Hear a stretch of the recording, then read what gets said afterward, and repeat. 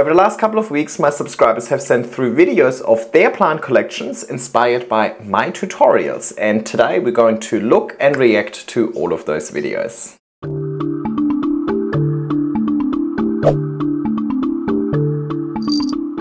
Hey everybody and welcome back to my YouTube channel. This is already part 4 of my Inspired by SPG series and first things first, I have got to thank everybody for submitting their videos and photos. I have received over 40 submissions for this part so I think we better get started straight away. Alrighty, first one and I think we all know who this is my name is Rose from the Netherlands, Plant with Royce on all platforms. Hello Royce, thank you so much for submitting. It's actually very humbling to think that other content creators are also watching my videos and get inspired by my videos. So thank you in advance already. Very curious what you have to say about them. These are some of my biggest plants, but also pretty ugly in my opinion. Sorry plants. Well, I'm gonna be the judge. Thanks Big Hug and Cuddles for bread. He's been sleeping in his little basket, so I didn't want to wake him. But let's have a look at what Rose has submitted. I'm excited. Hey Jan, this is Rose from the Netherlands. I would love your thoughts because you've inspired me a lot the past few years to try moss poles, how to grow them, but I still feel like mine look a little bit bare compared to yours. This is the Glorious. You can see some pest damage, but I've since improved that situation. Here is a new leaf because there are two plants on this pole. This is the top growth. It's getting nice and big, but nothing like yours. And there's such a bare spot mm. right there. Hey, Mickey wants to say hello. Hi, Brad. How are ya? Bradley, you're missing out on all the fun. No reaction. there are some. Oh, what a cutie. Yellow leaves. This one just fell off, but that's okay. That's normal, okay. I feel like. I planted a bunch of plants on this pole. All the leaves are aiming towards where the window is, as you can see here. There is a beautiful new leaf and it's also sizing up nicely, but this whole thing is so bare. I hope that the small plants will grow into it, but it just looks not as nice as yours. Thank you so much for all your amazing content, and I can't wait to meet you in person one day and do handstands and yoga together. Bye! Thank you so much. Wow, production quality of your video is really, really good. I bought my camera based on your recommendation, so very nice to look at such a nicely filmed video. Thank you so much, Royce. Now, I'm actually a bit surprised because the leaf size is looking really good on your leaves. You definitely have this continuous increase in leaf size. But yes, you have much larger internodal spacing than I have on some of mine. The only one that has really large internodal spacing for me is the verrucosum. Now, I reckon could be a couple of things. It could be a light thing. With increased light exposure, I've noticed the internodal spacing to get smaller, um, but based on your leaves and the continuous increase in leaf size, I do think you're providing sufficient light. Now, specifically with my Glorious and with my Majestic, I actually started both of mine off a pretty chunky stem cutting from an established uh, plant. So I bought both of them from uh, quite well-known growers in Australia like what, four years ago. And um, I definitely have a photo of the Glorious and I'll pop it on screen over here. You can see it came from a really thick stem. I actually think that if you have a cutting that is pretty mature with a thick stem, your new plant, while the leaf size might still be small initially, is actually going to mature a little bit faster compared to maybe if you bought one that was tissue cultured. I'm not too sure where your plants came from, if they came from a really thick stem cutting originally, or if they're made of bin tissue cultured, or if they came from a small plant and so on. But I think that's why my Glorious and why my Majestic has matured very quickly. My Melano and my Verrucosum both started from really, really tiny plants and they've definitely taken much longer. But I think that's also because they're species rather than hybrids. So I think you might not do anything wrong over here. I think it might just be that you have to stay more patient. I would let the continuous increase in leaf size be the judge um, for the conditions. So I think just stay patient, go through the chop and extends and maybe if you know that your plant is growing a little leggier, then I think double or triple planting is definitely the right way to go. But I definitely don't think they look ugly apart from the bit of pest damage, specifically your Majestic. I think actually looks much nicer than mine. Thank you so much for submitting and thank you for having me as part of your inspiration. I think that, that means a lot. Alrighty, but we have got to be quick. Sorry, I said we're to be quick, but I really enjoy when you guys send me nice messages and take your time to actually film this stuff for me as well. So I want to, uh, you know, give you my time as well.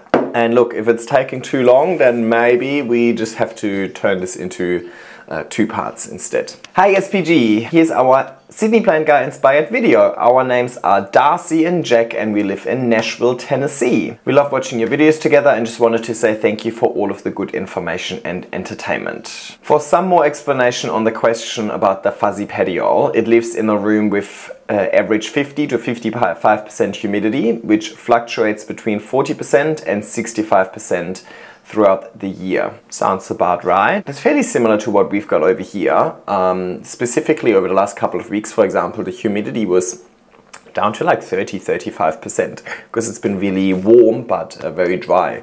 Uh, whereas in winter we've had like 85 uh, on average. So the fluctuations in itself I'm not worried about. I feel like most of the brown spots got more noticeable after it dried out a ton, so I'm not sure if they're related to that or maybe some fungal disease. They're next to a Philodendron melanochrysum, which also has some similar brown spots which popped up around the same time. There's good airflow in the room with an overhead fan going 24-7. Thanks again. Alright, I'm intrigued. Let's have a look at what you sent through. Looks like there's some sort of question in there for me. Hi Sydney Plant Guy, here are all our SPG inspired plants. All the way from Nashville, Tennessee. Nice. So first off, just got a golden pothos, as you can see. Excuse me, we have like alternating voiceovers. The level of production. Guys, thank you. Oh. Sizing up super nice. Nice. Philodendron silver sword got just from a single node cutting. Also maturing nicely here. Nicely. Here's my fuzzy petiole. Question for you if you know what those weird brown fungal looking spots on the outer edges of the lower leaves are. Epipremnum skeleton key, one of my favorite. I like that. It's right now. And then a little Monstera siltepecana I got from my girlfriend, sizing up super, super nicely after being a tiny little cutting. Looking really good. I never got big leaves like that in that uh, inside. Mine only started growing big leaves like that once I had it outside. Then last but not least, classic Monstera adansonii, giving me some nice bigger leaves. Can't go and wrong here's with our a other little plant corner. In total, we have about 150 plants. Looks amazing. I definitely love the wall of moss poles that you showed me at the beginning over here, supported by a vertical light so you get the nice presentation side. Really love the uh, Adansonia as well. I think a nice basic, a classic, right? Nothing wrong with that. Okay, let's have a look at these yellow spots. To be honest, I wasn't really like super concerned about them because they're also just on the edge of the leaves. Um, if you say airflow is good, I think the other thing that sometimes could cause these things is um, if leaves, for example, touch the side of a greenhouse and it's wet, like then you can start seeing these kind of yellow edges, but it doesn't seem to be touching anything. The top looks perfect. I definitely don't think it's pests either. I think there could be some fungal issues. I don't know, it's kind of hard to to say through this video.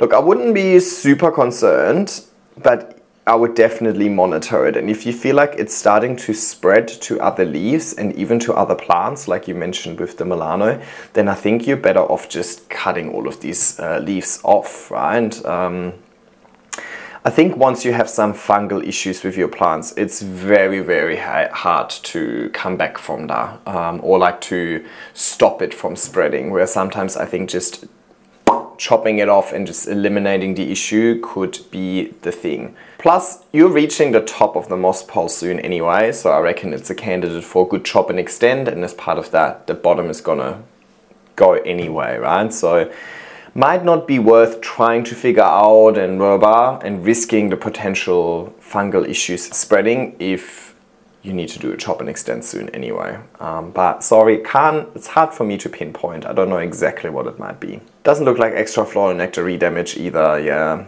Doesn't look like pests.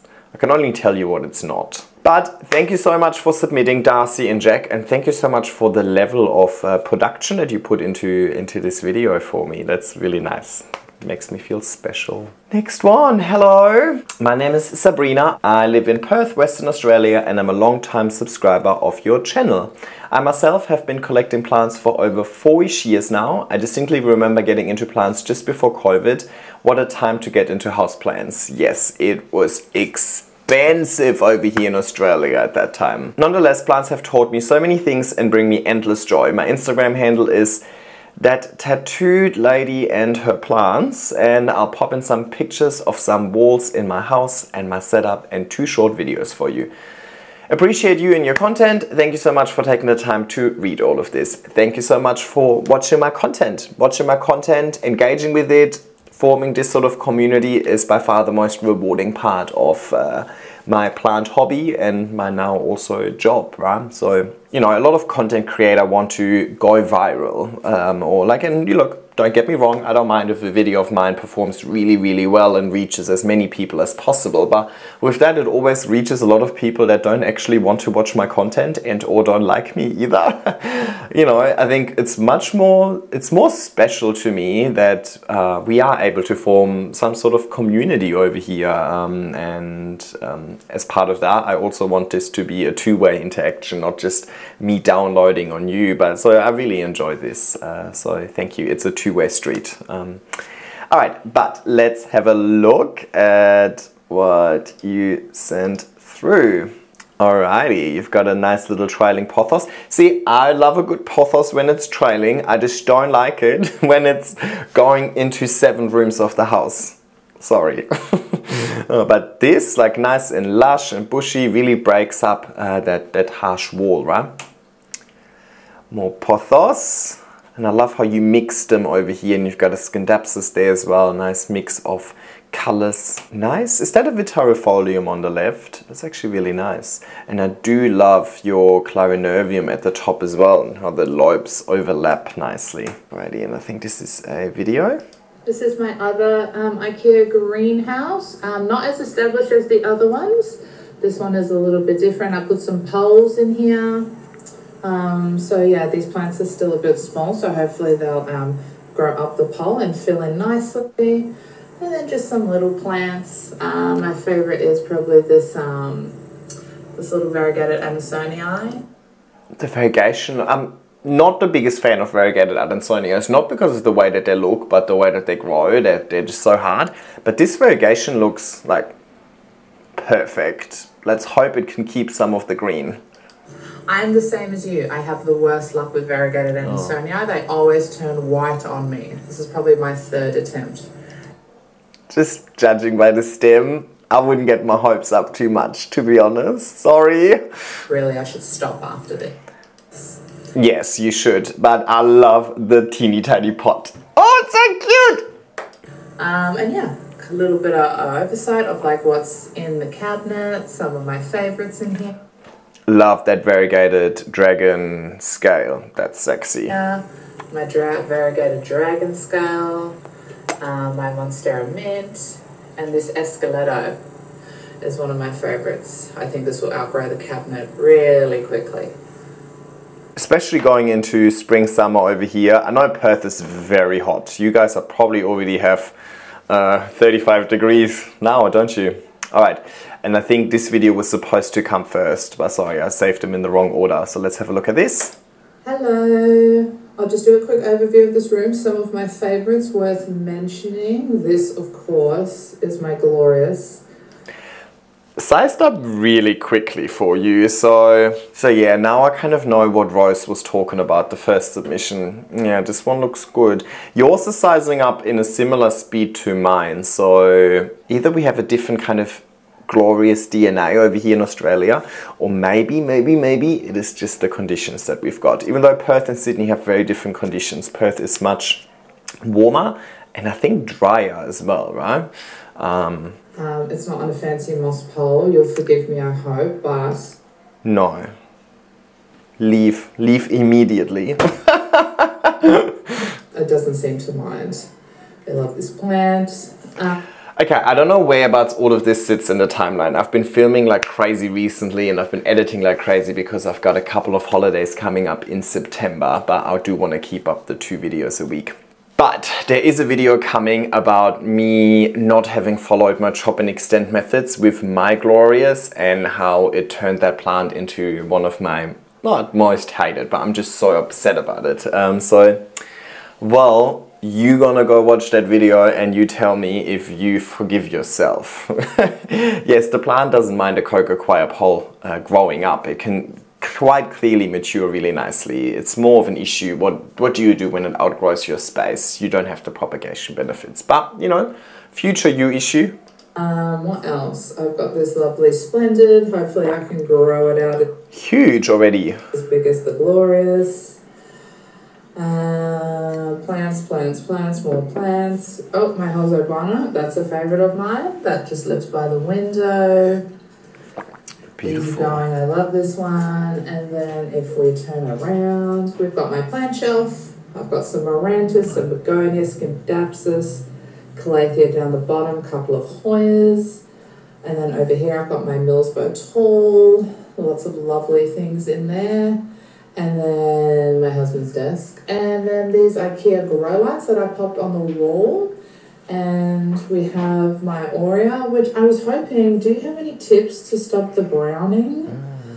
I feel like every time I water it, the big sectoral variegation just browns off. I only have this problem with my Aurea. I don't have it with the albo. I actually heard that the the yellow variegated version is much worse than the white variegated version. I've heard that across the internet loud and clear. I think it is nothing to do has nothing to do with you necessarily. I've also never really seen a really nice large alba with lots of leaves, but you see lots of albos out there with lots of leaves. Um, I think it's just a thing. Sectoral variegation looks great in the moment, but it's always going to be a pain in the ass in the long term. I have heard and I have no experience about it myself, so I always I don't always love talking about things like hearsay, right? Uh, but I have heard that if you provide silica, that can help with the variegation, at least in the albo. So, uh, but I think there was something else about silica that you need to be careful with, and I don't think you're really supposed to, I don't know, research it before you do something about it. But that's what I've heard. But I think, to be honest, you're just fighting a losing battle. And then my other favorite plant is this Philodendron Huge. Which I grew from nothing, by the way. You can see how small the leaves were when they started. I think this was one of the original leaves down here. And now it's grown into an absolute monster. So be careful with your little TC Florida Beauty. I'm sure it'll be this big in no time. I love the way that you managed the petioles to the pole and to each other as well. Anyway, I ran a little bit over a minute, so I'm sorry about that, but thank you so much for taking the time um, to open my email and watch this video. Bye!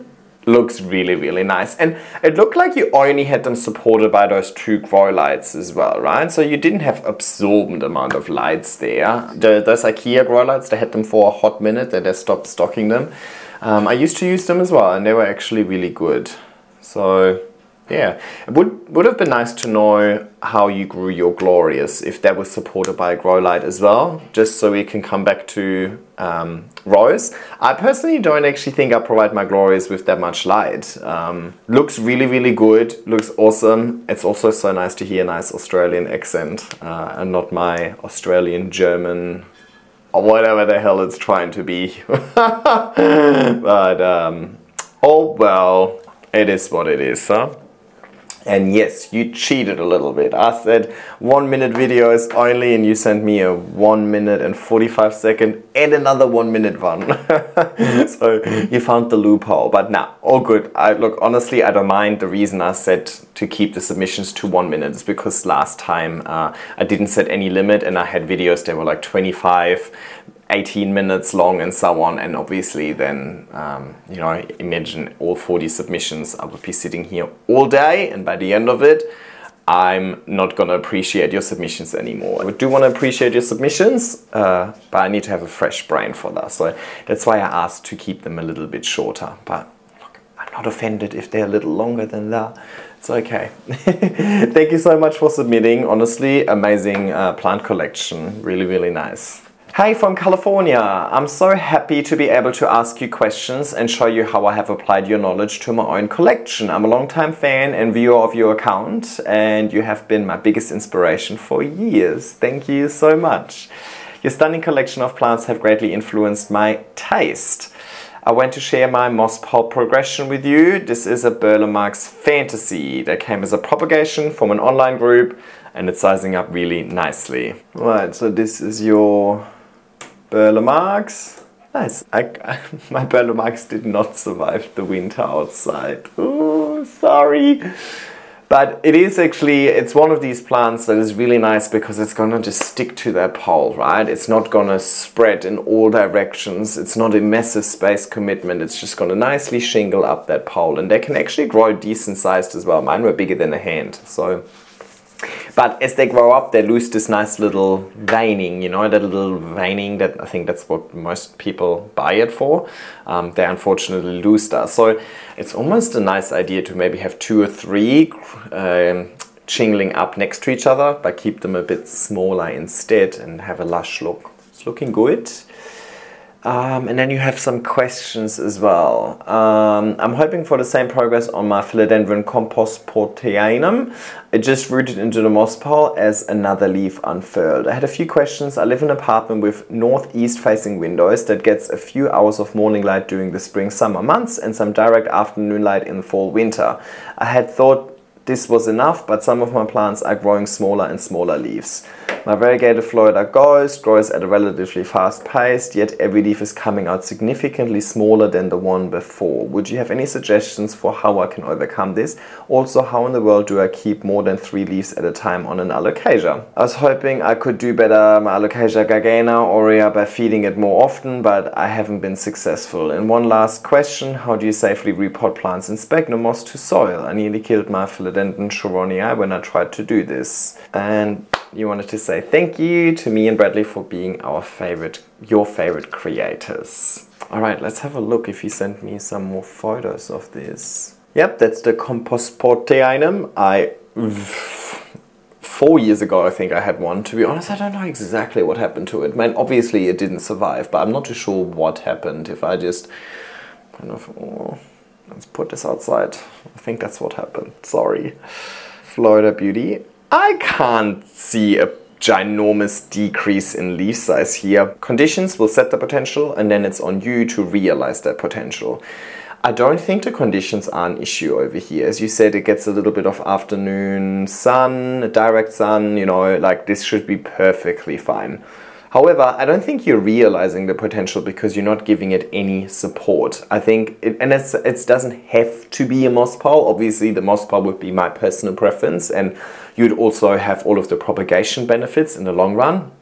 But if you want the full potential out of this plant, you need to grow it in line with it, the way it would grow in nature as well. And in nature, it would climb up a tree. And that supporting aspect, that is signalizing to the plant, hey, it's time to mature, let's go. So light will set the potential and I think the potential is there, you're just not realizing that potential. So I reckon if you would give this a support for it to attach to, it doesn't need to, you know, it can even just anchor itself to the support, uh, then I think these leaves should start increasing again. But look, I think it still looks like a really, really nice plant. Also keep in mind that if a plant starts having more variegation, I can see that some of these newest leaves are fairly variegated. Maybe having more variegation is kind of setting the plant back because the variegation can't contribute. Whereas if you have uh, lots of green leaves, then the green leaves going to assist with photosynthesis and uh, then also can obviously produce more energy and can grow larger leaves. But I think if I were you, I would provide it with a support and see if that does the trick. Then there were some other questions. How can you keep more uh, leaves on a plant, uh, specifically alocasias? I think again over here, if you have fully variegated leaves like the one I can see on screen over here, it's going to be a bit harder to keep more of them because, well, they're going to take energy to stay alive, but they're not contributing to uh, the energy production because they don't have chlorophyll.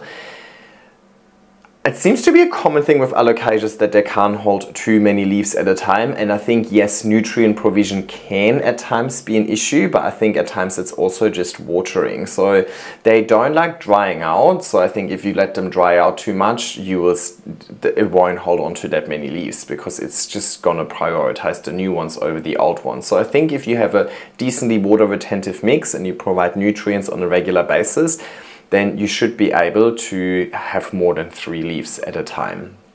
But again, it also depends on, I think, the species. For example, my Jacklyn, I've never had even had more than two leaves, but I've seen other people have more than two leaves. My Cuprea holds like 20 leaves at a time. So yeah, where did you say? You're in California, so sun and warmth shouldn't be the issue. Humidity could, could potentially be an issue for. But yeah, I would try and keep it moist uh, at all times and just provide a weak dilution of fertilizer um, with, with your watering and that should do the trick. Oh, and there was one more question. How do I safely repot plants in sphagnum moss to soil? Um, I don't do anything special. I'm pretty sure I've done this on, on, on my channel before as well. To be honest, I only really propagate my velvet philodendron in moss. Everything else is always water propagated. Uh, my anthuriums are propagate in moss as well. And I don't do anything special. I'm obviously careful when I remove the moss because sometimes you can also just cause little damage while removing the moss and then that damage is just going to cause the root to die and then you think the roots rotted. Um, they're rotted, but they actually were damaged first and then they're rotted. So I'd be careful with that. I also probably wouldn't also, I mean, that's a that's a rule that applies to all of this. Um, it's really like, well, you want to eliminate crazy differences, right? So if it's in a really water retentive mix like sphagnum moss initially and now you're going into a super chunky aroid mix, that's most likely where something goes wrong. So maybe go from the moss not into a super, super chunky aroid mix, but rather, you know, use the fine particles from the bottom of the bin uh, and keep it fairly water retentive so there isn't too much shock all at once. Um, that would be my best guess over here. Also, don't leave it in moss for too long. Um, you know, same goes for water. If you have a plant that's been growing in water for a year or so, it's going to have a much harder time than getting established in an aroid mix, for example, than a plant that has only rooted in water for the bare minimum, right, until it was ready. So, um, yeah, I think that's kind of my general advice uh, for you over there. Thank you for submitting, and we're moving on to the next one. The next one, it just came to me via WeTransfer. I believe your name might be Fizzy, that's what we're going to call you, and it just said Philodendron Paraiso Verde. But maybe you explain it in the video, so let's have a look.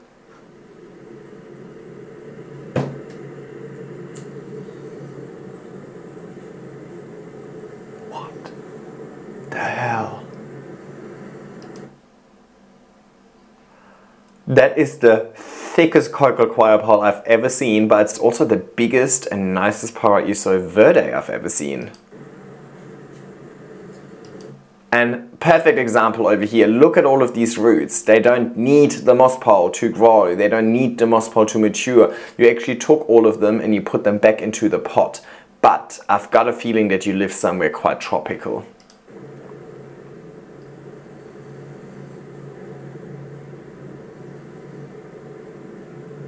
Inflow.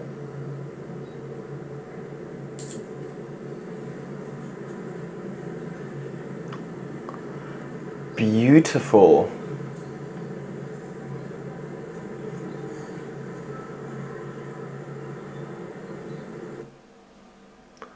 That was a very, very impressive plant.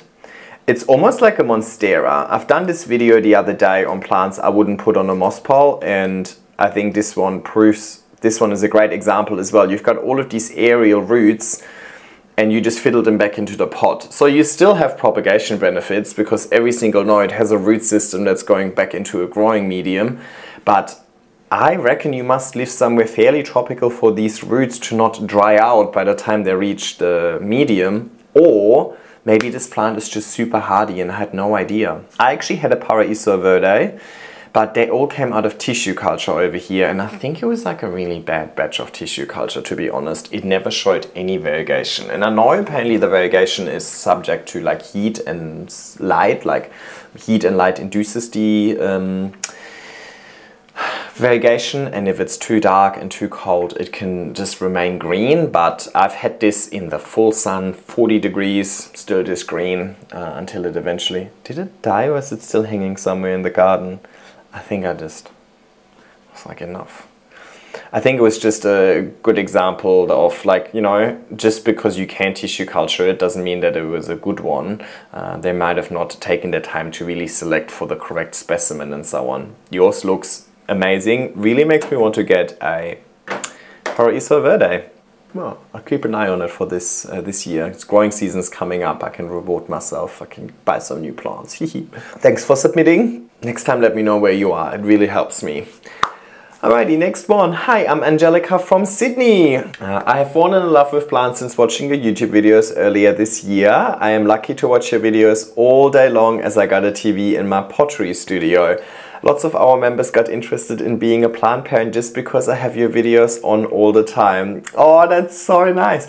I also need to come to your potter pottery studio. I always wanted to give that a try. Here are some of my babies. It's never about how great they are, but the time taking care of them and watching them grow. It's all about the journey.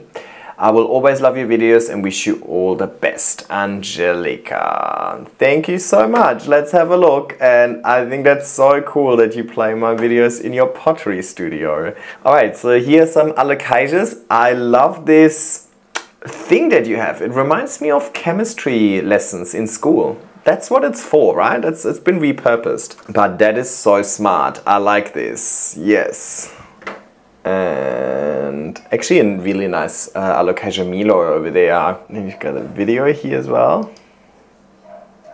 You've got another one of these over here.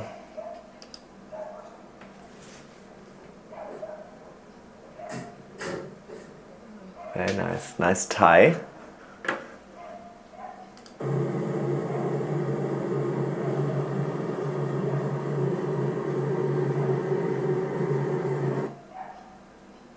You do love your alocasias and you're doing really well with them. Clearly not inspired by me. no, it's good. See, like obviously you found alocasias, you like them, they like you. Go for gold. You do love your alocasias, huh? I love that anthurium up there. Very nice and bushy, so good start, humble beginnings, and you're right, it's all about watching the plant on their journey, you know, and uh, get get excited about every growth. When I first started, I would know exactly what plant is unfurling a leaf at what time, and like because I got so excited about every leaf. Now I lost uh, of all of the plants a little bit. I have too many, and I'm obviously a majority of my time is also focused on content and engaging on social media and so on. Um, but yeah, it's exciting. Um, as, as you said, it's all about the journey. Thank you so much, Angelica from Sydney. Alrighty, next up, my name is Daphne. I'm a medical technologist working here in the US. Sounds really fancy and I have no idea what that means, but I respect it. I recently dived into the rabbit hole of plant collections and you have been an amazing inspiration, especially growing plants vertically on moss poles. Here are some of my babies that are inspired by you and your plants. I love you, your cat, your plants and your content so much. I hope I can grow my babies as beautiful as yours. If you can mention my Instagram at grown by Daphne. If I ever get featured, that would be awesome. All the love, Daphne everybody gets featured. Everybody who submits gets featured. I'm not gonna let you submit and then I'm not pulling through. So thanks for sending through Daphne and let's have a look. Mysterious. I love that. I actually, I always think it's so cool, especially on Instagram when people have these really dark photos and aesthetics and then you know green and black looks awesome and then I look at my feed and it's so bright everything is so bright and vibrant and like I like when I edit my photos I always go like bright bright bright I don't enjoy the darkness in my own photos but I can really appreciate it uh, if that's somebody else's aesthetic. That looks really nice and I like that cabinet with the black backing at the back. backing at the back, obviously. I love the, you know what I mean. And that cabinet has cool little side shelves as well. Very nice setup. Hope you, yes, okay. I was about to say, I hope you see it a bit closer. That is such a cool setup. And I do, I think the IKEA, that version of the cabinet comes with the dark backing, right? But the green colors, uh, the green leaves look so good in front of that. I do want a new one. I have one there behind the El by the way, excuse me. El very nice. Beautiful, and I love the little, I don't know what it is, but obviously some watering device. Awesome. You have made a little army of moss poles, huh?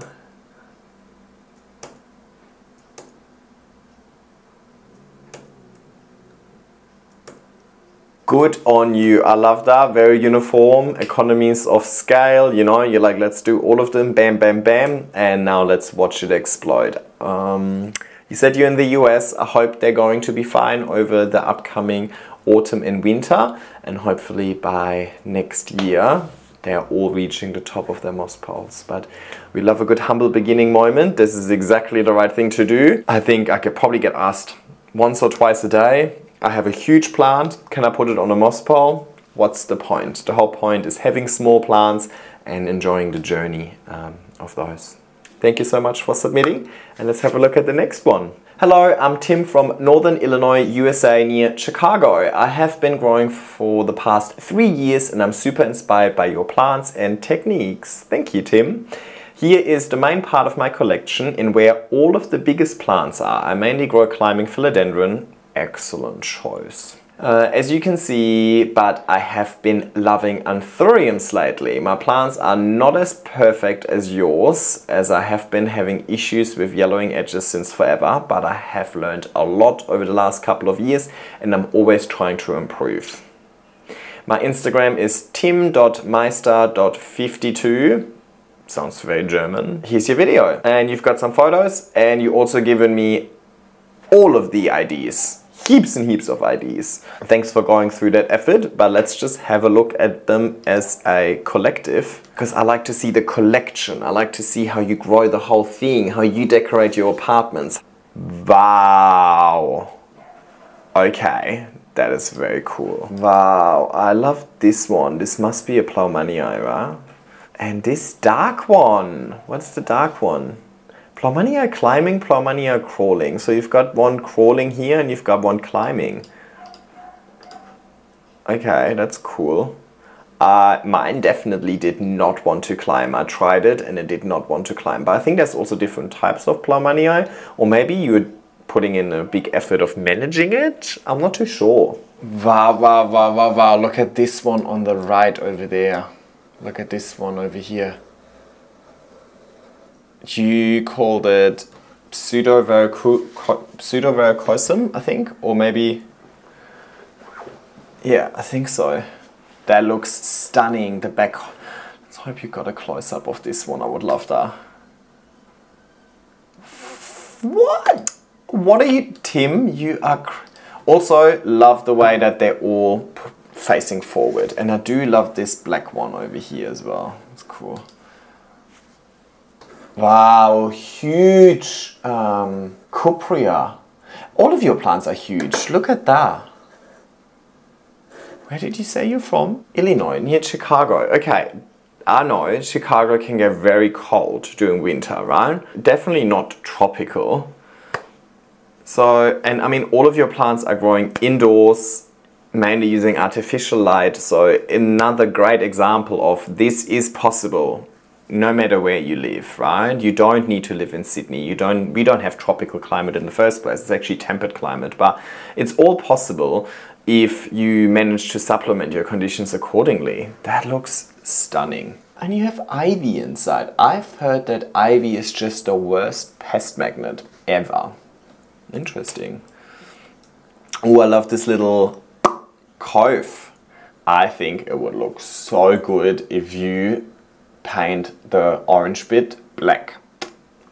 That would look so good. Imagine the greens in front of the black wall. Mm.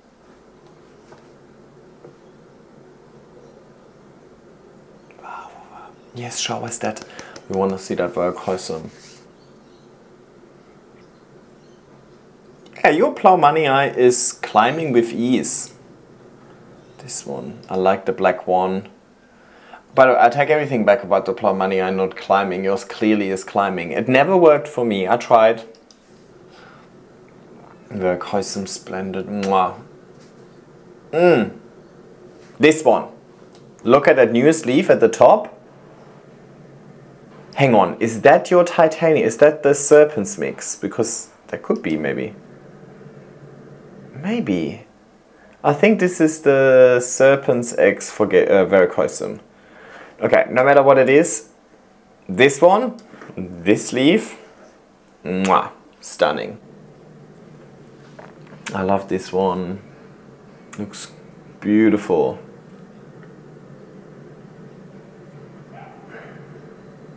Beautiful continuous increase in leaf size. Your Cuprea is much bigger than mine even. Wow! I thought mine was huge. Yours is ginormous. Epipremnum pinnata maybe. Look at that big alocasia. Didn't even see that in the first uh, photo. Big monstera, beautiful. Tim, 10 out of 11 out of 10 for you, Tim. You've got great taste in plants you know how to supplement your conditions and then you realize the potential that your conditions have set, I very much agree with your aesthetics. And it's really, really nice to see that some people use my techniques and really make something amazing out of it. Uh, I'm always a bit worried that maybe it's just something that just works for me, so I like this sort of, uh, you know, confirmation that no, it is actually working for other people as well. And specifically, it's working for people from all over the world. You don't need to live in Australia to have uh, success growing plants. That's a good confirmation for me because sometimes I feel like the internet at large is trying to gaslight me into thinking that this is only possible because I live in Sydney. Alright, next one. Hey Jan, I am a fellow Sydney aroid grower. My indoor plants growing journey started in 2022. I bought a Monstera from Big W for $9 fearing I could not keep it alive and then my love for growing plants continued from there. My first exposure to moss pole was seeing it on your Instagram account. I really love your philodendrons and Manjula moss pole. I only started putting my plants on the moss pole one to one and a half years ago. I really enjoy your videos with AJ and have purchased multiple plants from her greenhouse such a nice place to go to for shopping and you know obviously also catching up with AJ. She's such a legend. Uh, I need to go back actually. She's building a second greenhouse. We need to go visit. I have attached a small portion of my aroids on moss poles. My El Choco Red was inspired by yours. Mine is still quite small and can't wait for it to grow as big as yours. Honestly, it's, got, it's so nice. It's such a rewarding plant. And you can, so far away. Let me bring it closer.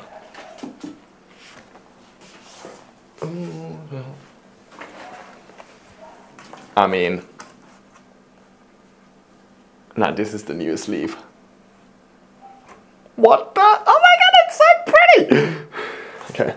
This one is turning two years old at the end of November. I can't wait for the two year video. It's gonna be epic. Let's have a look at your plants. Sorry, I didn't get your name. Amy. Alright, beautiful. very Verrucosum, Thai. Uh, the El Choco would this be this one on the left over here, right? Yes, I can tell you in Australia because we literally have the exact same plants and you've got good taste. I love that Manjula. Look at that. It's already sizing up so nicely and your um, Florida Ghost is doing much better than mine. 10 out of 10 for your Manjula. Really, really like this and I agree. It's such a nice plant and to me, it's always crazy how it can grow and increase in leaf size, even though it has so much variegation. You have the same thing happening to you here, right? It's so white. I mean, that's what we want from this plant. But how is it alive? But it is. So let's let's let's accept that. Alrighty, let's do one more, and then I'm probably gonna have to have a little coffee break. Let's see how we go. Hey Jan and Brad, I'm sending you this mail because I want to show you guys my plant collection. Brad is still sleeping on the job. He's missing out on all the fun. My name is Tim and I'm from Germany. And your Instagram is tim underscore Hanel. Um, So many Tims. In my time studying as a landscape architect, I designed and built different living walls which were housing my plant collection. I found out that especially alocasia and philodendron are thriving in those living walls because they have pretty similar conditions as moss poles. I tried putting heaps of different species in there like carnivorous plants, ferns and even some cacti. Some plants grew pretty huge in there. Sadly the big living wall had to be taken down because of not having enough space so at the moment I only have plants in the small one shown on the pictures. I still wanted to share those plants and living wall with you because I thought you might find it interesting. I also included some bigger plants like my Trevesia palmata. Never heard of that. So you are a landscape architect. So you definitely know more than me. So let's have a look at what you've done. So this is a living wall, a smaller living wall. I like the idea of living walls. And to be honest, I've always thought about maybe this is something I should study because I think living walls are a big thing when it comes to engineering or when it comes to urban design going forward, right? Because they really help cooling down cities, cooling down houses, reducing uh, electricity costs and so on. So hope you make something out of it that's not just aesthetically pleasing. Really nice, good variety, and what well, the living wall is just just little pockets with felt, felt maybe? No, I don't know. Oh, I like this. It's like a living pyramid. See, if I would be living somewhere, like if I would be owning a house and I know I can do permanent things to that house, I would 100% want to grow a living wall. And then, you know, I just, the, you can, the living wall can change over the years. As plants grow, you realize, oh, this one's growing too big, let's take it out, this one's not growing at all, and so on. But, you know, as a renter who has to uh, move house frequently, it's just too much effort. I do like this little triangle. And I love the carnivorous plant in there. I'm obsessed with carnivorous plants at the moment. I really want to find a few more, but maybe just maybe just one here and there. I don't want to go too too quickly down that rabbit hole for now. Yes, this looks stunning. I love that, and I can see.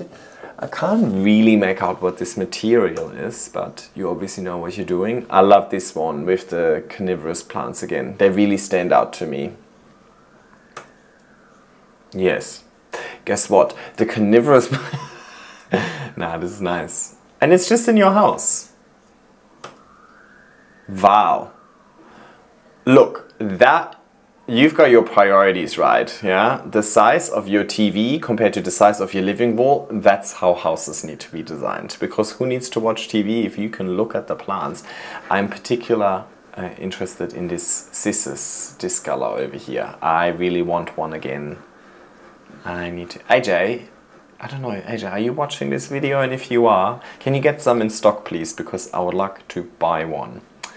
Uh, also, just having your carnivorous plant hanging there in the middle of your living room, crazy. I always thought they must need a greenhouse. Clearly, I am wrong. You really did try out like all sorts in there. I like that. I like that you didn't just go with like one species and then whoop. You're just like, let's try all the species hang on, these are different walls though, right? They're different things. Well, I think you said you do this as a job, right? Look at this ginormous alocasia. I would have never thought about alocasias in a green wall, to be honest, but this looks good. And again, look at the carnivorous plant going absolutely crazy over here. Mm. And I like the little Adansonii finding its way onto the wall. Wow. Okay, yes, the alocasia really, really like the green wall. Maybe a little too much. Nice. The dubia found its way off the plank onto the wall. I like that and how it's mounted on this piece of wood. And some oxalis at the top, huh? It's a super funky looking leaf. What is this? Ah, oh, that must be the one I've never heard of. Trevesia palmata. Looking really cool. Oh yeah, you literally named the photos for me, sorry. Thanks for naming the 10 out of 10 for effort. Thank you so much. You actually named every video, photo for me and I just ignored it. Oh, sorry. Really, really nice. Thank you so much. Tim from Germany. Ah, come on, let's do one more before I have coffee. I'm so excited for coffee. I want to drag it out, you know, while we're reviewing German things, there's a nice saying in German, Vorfreude ist die schönste Freude, which basically means like anticipation is the nicest form of joy. And it's so true, you know, like when you booked a holiday and like leading up to the holiday and you're like, oh my god, tomorrow we're going on holidays. That is the ultimate form of joy. During the holiday, all I can think of is, oh my god, my holiday is gonna come to an end. And then after my holiday, I'm, all I can think of is, oh my god, my holiday is over. So the anticipation of the holiday is always the nicest part. Same with coffee. I'm, I'm excited to have one in a sec, so let's drag it out a little bit. Let's get to do some work, yeah? Hey Jan, you have inspired me to try using moss poles, clear pots and making my own aroid mix. So far I have seen amazing results and I'm looking to put more plants on poles. I would love to hear any suggestions you have to maximize their growth. Alrighty, let's have a look. Okay, I think these are queens. Must be queens. It's a called? Frosted heart. Oh, I like that Emedrium on the right. Nice crystallinum. Hmm. Something's happening with the one on the left. Okay, let's use this photo to maybe address your question if I have any suggestions to maximize their growth. So it comes back to my favorite topic, conditions versus care. Conditions will set the potential, right? So light, temperature, humidity and airflow. And we want to match the conditions to the conditions that these plants would grow up in nature. Most of the plants I like to grow, you like to grow, are somewhat tropical plants. So they usually like warm temperatures, they like consistency, they don't want to have major dips, right? There are plants out there that need the dips, they need the freezing cold temperatures to go dormant so they can come back in spring, right? The, the annuals, I think that's what I call it. I'm so tired. As soon as I leave this room, I have no idea about plants anymore. Um, these tropical plants don't want that. They have the same conditions year round, right? They grow somewhere near the equator where there aren't fluctuations. They don't have seasons like uh, we do closer to the poles. Where I going with that? All I can think of is coffee now, sorry. so conditions will set the potential and the conditions that your plant wants is not up to you, it's up to the plant. So it's for us to find out what conditions the plant would like. And then you get to realize that potential, right? So realizing the potential is then, for example, giving it a moss pole or giving it a support in the first place. Optimizing the root system, giving the plant enough room for roots, right? Um, providing nutrients, providing a good substrate, uh, avoiding root rot, avoiding overwatering, pest treatments, and so on. That's all the care aspect. And we've got a bit of leeway with the care aspect, and the care aspect also is very much a result of the conditions that you're growing in as well if you grow in dry conditions, then you need to water more often and so on. So I think over here, I would need to know a little bit more about your setup specifically to tell you what you can do better. But just judging by this plant on the left, and it's weird because on the right is not showing the same thing, but one on the left you actually start seeing a decrease in leaf size, at least that's what it looks like from this photo. So I think you're not providing this with enough light, most likely you are trying to realize the potential by giving it a moss pole, but if you didn't set the potential with the conditions in the first place, then there's nothing you can do on a realization front, if that makes sense.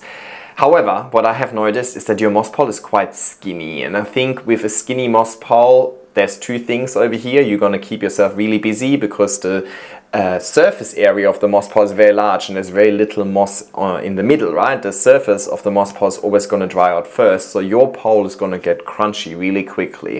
If you make a thicker moss pole that holds more moss while not necessarily having much more surface area, then your moss pole will stay moist for longer. So I would stay away from really, really skinny uh, moss poles because they're just going to keep you really busy and at the same time they're not actually providing that much room for roots, right? So if you want to realize the potential that you'll hopefully set with the conditions, then you also need to provide the plant with enough room for the roots to go in. Otherwise the plant will be root bound on its pole, if that makes sense.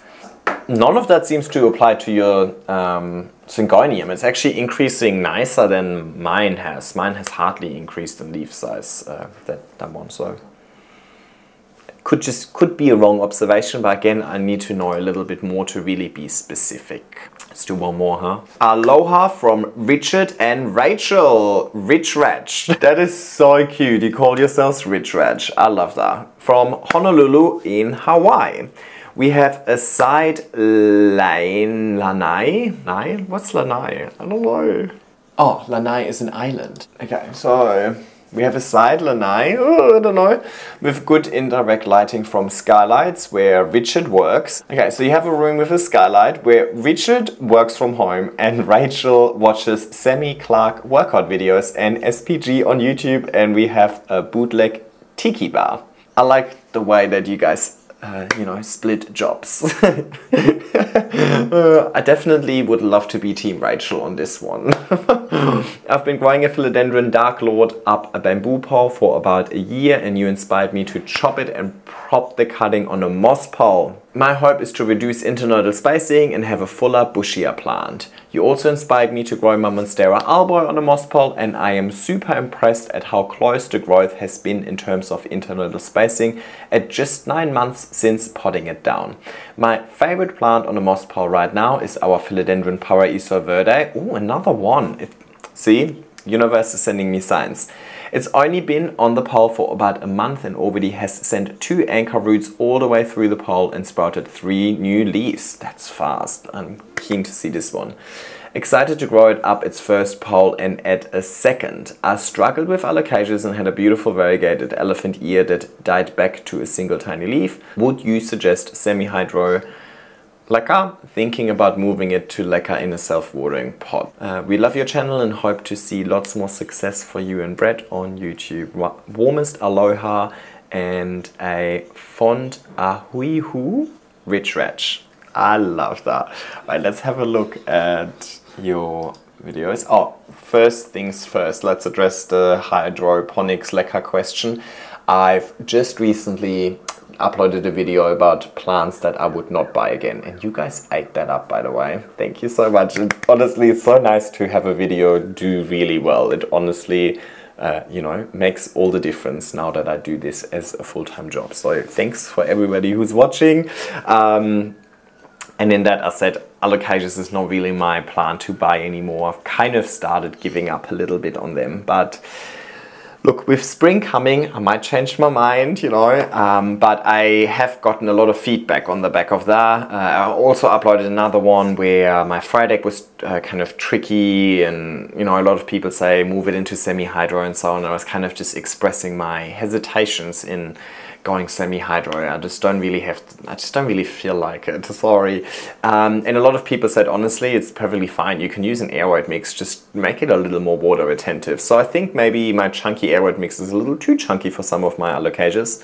So I think I'm going to try again, just with a more water retentive aroid mix. I think the goal over here is consistent provision of water. Don't let it dry out. Um, and I think that's just a little bit easier in a self-watering setup or in a semi-hydro setup. But I think in itself, semi-hydro or aroid mix or whatever, I don't think it makes all the difference. I've, uh, I've, I've had comments from people saying they have amazing success in semi-hydro and people have amazing success using uh, an organic mix. Anyway, so let's have a look at your plant. Love it, nice roots. Doesn't look too bad. I think maybe it could use a little bit more light because it's a bit droopy, but looks fine. Beautiful, yes. Oh look, that's me there.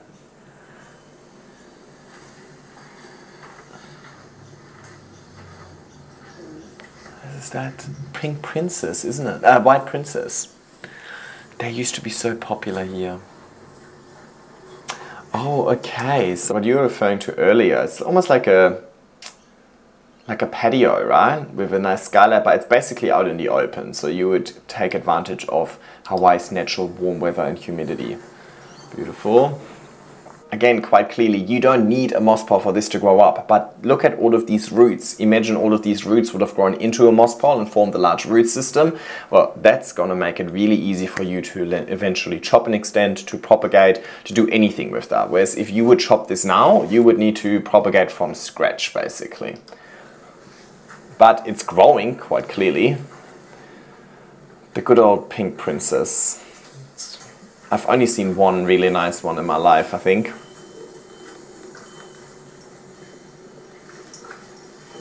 That's beautiful. And yes, really nice internodal spacing.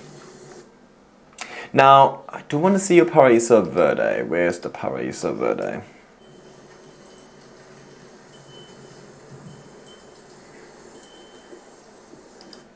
Guys, ficus are trees, they belong outside, as shown in this video over here. yeah? Actually, I've seen some people grow nice ficus inside, but I just feel, I don't know, I feel like trees really belong outside.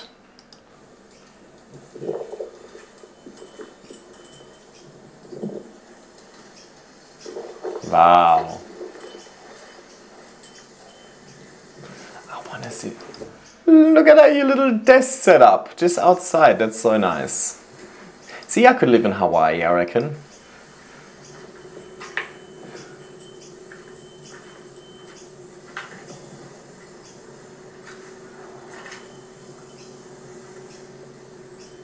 What's this one? Must be a Thaumatophyllum, but very interesting leaf shape. Never seen that before. Caladium, Tiki Wiki. Come on, show me that. I think it was on the left over there. Now, alrighty, yeah. Hey, very wide leaves on your ring of fire. I want to see the Paraiso Verde. You're gonna leave it to last. Of course you did. Definitely, look at that. You can definitely see a big increase in leaf size over the last two, three leaves. Beautiful short internodal spacing. Always nice to have a plant with nice short internodal spacing. Good variegation. There's the roots. Definitely, I need to get a Paraiso Verde. Just one little thing I do want to address. You mentioned that you're really happy with the short internodal spacing. I don't think that is necessarily a direct result of using a moss pole. I think first and foremost it is providing good conditions and providing a support but I think the moss pole might also contribute a little bit. But a moss pole in itself is not necessarily going to create short internodal spacing. It's the conditions, it's the growth pattern, so the fact that it is climbing and its maturity that, at least from my experience, is uh, influencing the internodal spacing the most. Thanks for submitting Rich Raj and now it is finally time for me to have a little coffee break. I'll see you very soon. Alrighty, we are back. Alrighty, let's move on. I'm too excited to stop. Hi Jan and Brett. I love that everybody says hello to Brett and he doesn't even bother showing up. I want to take advantage of your invitation to share our SPG inspired moss pole collection. My name, my name is Lynn. I live in Olympia, Washington, USA. I started this adventure in January and have been amazed at how satisfying growing vertical is. I know, right? Like once you do it, like you just want to keep doing more and more and more of it. I use D-shaped plastic poles because I'm a granny and the wires and ties are a little hard for my old hands, but they're full of roots, so I'm thankful for the ease of them. Yes, also the D-shaped moss poles have the better functionality, no doubt in my mind, but um, I just don't necessarily like the aesthetic. So where I can avoid it, I'll do it, but most a lot of my plants are on, on D-shaped moss pots these days. Um, you're definitely my inspiration, my muse and my guru. Oh, I don't think anybody's ever called me their muse. Oh, well, thank you. Thank you for sharing and inspiring us. I couldn't manage to show off my success in 60 seconds. Fondly, Lynn. Alrighty, at least you admit to breaking the rules. it's fine. As I said before, I'm not mad. Uh, we've got two minutes of fun. Let's have a look. Here's my golden pothos. Beautiful. Here's its first leaves and You also said you only started this in January. We are in September now. January is, I mean, supposed middle of winter for you guys over there. So you started at a tricky time, but you just had growing season. But still, that's pretty good for, uh, like, it hasn't even been a year, right? sizing it beautifully. Just beautifully. My micans started out a little tiny leaves and just sizing up quite well. I'm gonna let this one grow pretty tall. Really nice. Can't wait to chop and extend. Yeah, if you only started in January, you would have never done a chop and extend yet, right? Well, you're in for a treat. And this is my little Addison's Swiss cheese plant.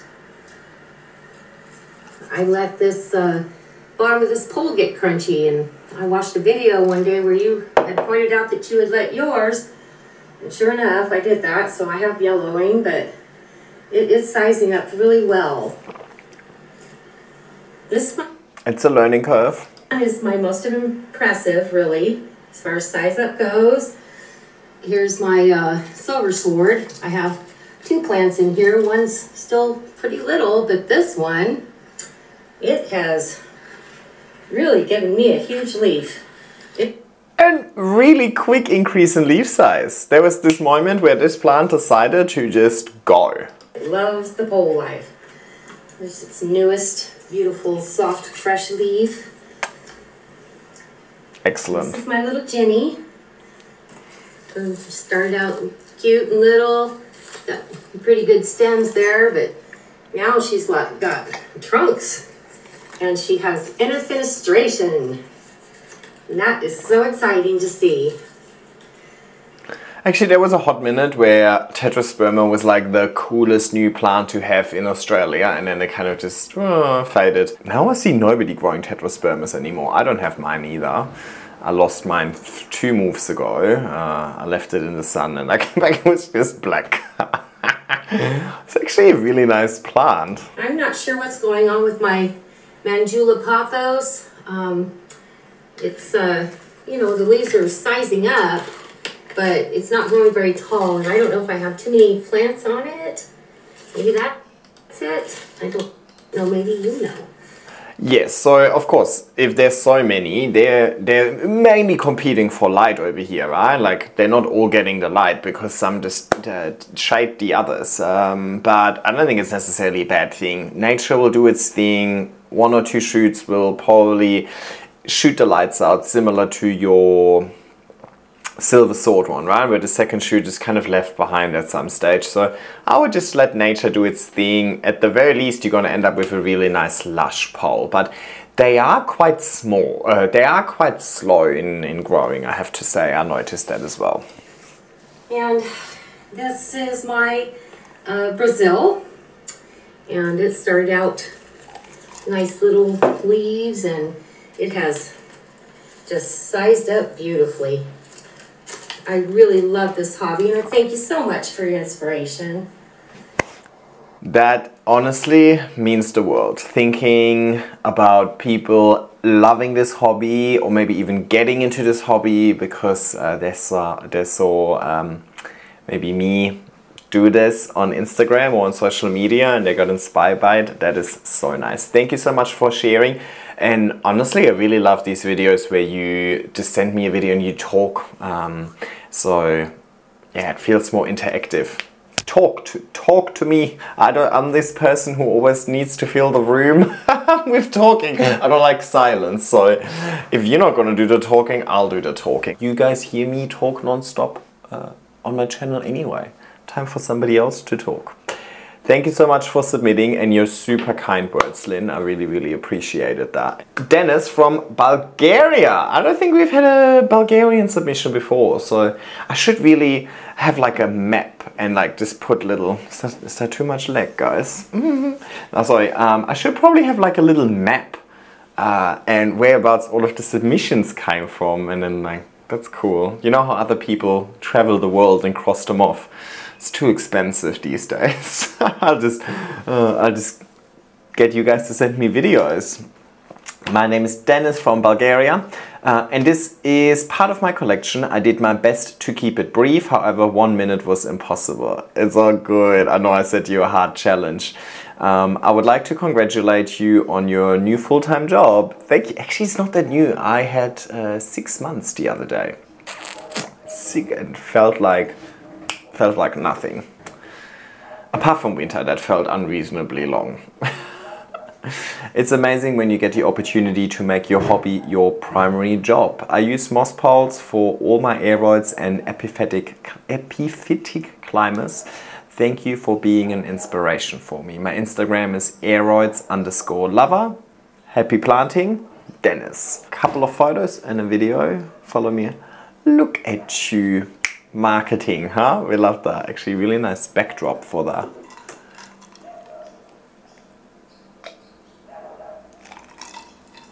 hang on, hang on, hang on.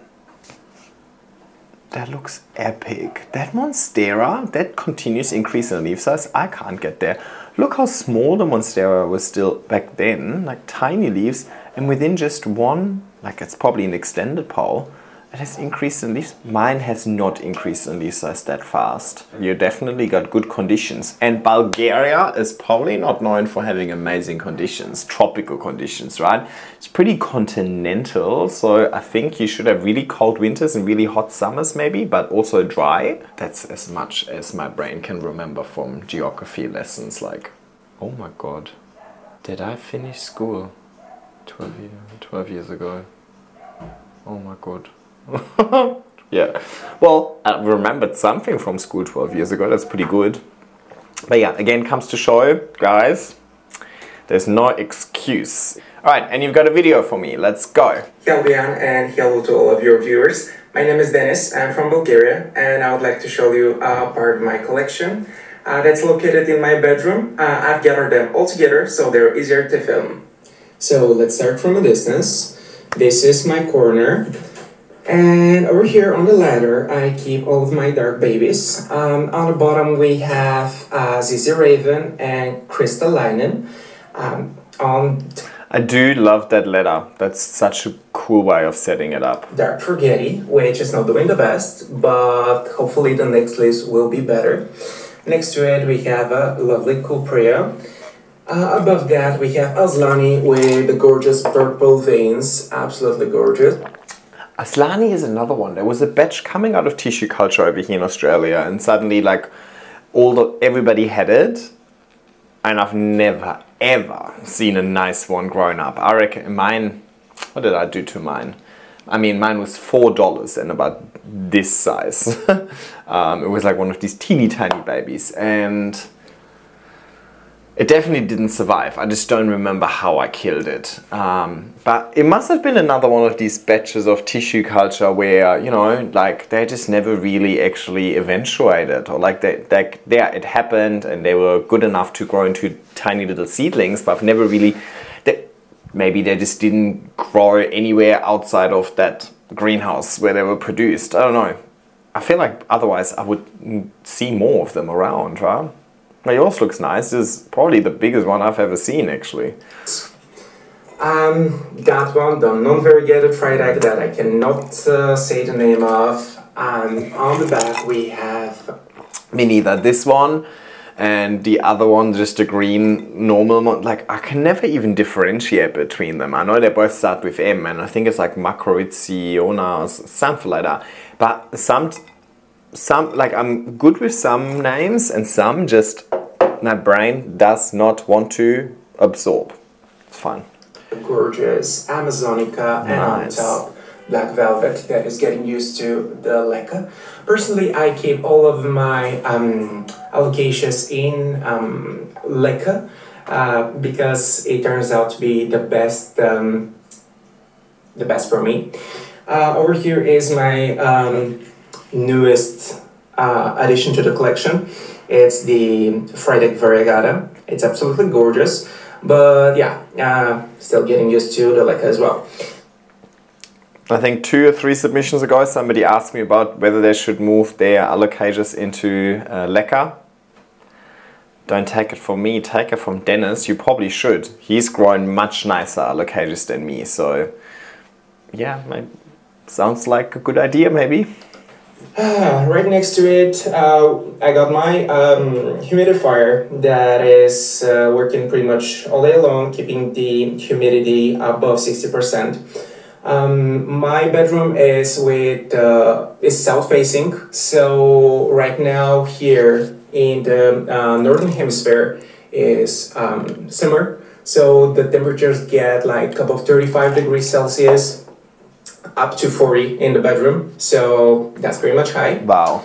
Uh, so I definitely need a humidifier and sometimes I turn on the um, air conditioning. Uh, we have a brand new um, tech installation that is lovely. However, it's still getting used to the temperatures in my room because it's really hot. A regular Deliciosa. Above that, a giant bush of uh, Boston fern that is doing amazing. Very well. Uh, what else we have here? Uh, that's my um, philodendron Prince of Orange. That is Huge. uh, absolutely gorgeous. I absolutely love uh, its yellow leaves. Uh, right next to it is the massive monster. so And the variegation, perfect. Not a brown spot, nothing. I think you got lucky because most of it is quite mottled, but you do have some chunky sectoral bits there, and despite the warm temperatures, no browning. Oh, maybe you're gonna tell us how you did that. Oh, I have that for more than a year now. Uh, actually, two years, if I have to be honest. It all started um, from a single leaf cutting with no roots. And look at it now, it's more than two meters tall, and the leaves are bigger than my arm. Yep. Uh, it's on a moss pole, uh, same as yours, uh, similar. But yeah, it's absolutely amazing, and thank you for the idea of uh, putting aroids on moss poles. Ah, look, ah, that's not my idea. I'm not the first person to use moss poles. I think they've been around for decades, for centuries potentially. Who knows? Suppose I'm just really vocal about it. Right next to it is uh, my ring of fire that is throwing absolutely lovely leaves. Absolutely lovely. I adore those colors. It's absolutely gorgeous. Very interesting. Yours has climbed so far, right? Like it, mine climbs with the tiniest internodal spacing, yet my leaves aren't much bigger. So I don't think necessarily it's because I provided with much more light than, than you do, because you've got plenty of light there, specifically given it's south facing in the northern hemisphere. Maybe it's also one of, I'm pretty sure again, my uh, Ring of Fire was tissue cultured. Are all of them tissue cultured, maybe? I don't know. Maybe there's different batches available in different, I don't know. But interesting to see that even like it's the same plant, but it behaves very differently for you than it does for me. Uh, interesting, yeah. And another deck constellation. Right above that, we have a Florida Beauty that is getting used to the moss pole as well, and it's putting some roots in it. Nice. It's focusing good. Okay. Right above that, we have the Bilietti. Bilietti, I'm not sure how to pronounce it. I think it was on Royce's Instagram. Royce from the first submission. She actually did she interview uh, the lady who did it? Who named this plant? I don't know. I think it was on hers, and uh, it was confirmed that it's Biliatii. I think. Yeah, Biliatii. It's gorgeous as well on the moss pole. It's doing great. And my absolutely favorite, uh, so the Philodendron Florida Ghost. Beautiful. The leaves are absolutely massive now. That's more than 40 centimeters, let's say, I'm not sure. and it's putting a new leaf pretty much every week from the summer. And I think it likes my condition because I believe that's a cataphyll or a flower. Fla- Yeah. And we'll expect a new flower soon. I'm so offended. Mine grew like one leaf all season. what am I doing? I cannot get a ghost to grow. Yours looks beautiful, and I love how all of the leaves face one direction. You know, a beautiful display side. So you understood the assignment for sure. So that's my collection. Uh, thank you all for watching. Bye. Beautiful, absolutely stunning. Well done. Thank you so much. That was amazing. I definitely know I need to put a little bit more effort in my Florida Ghost because it needs to redeem itself. If my if my Florida Ghost ends up looking like yours, then uh, it will get off the naughty list. But at the moment, it's still on the naughty list. But that's good to know. It gives me hope. Alrighty, let's have a look. Uh, hello from Greece. I don't know if we've had a Greek submission before, but hello.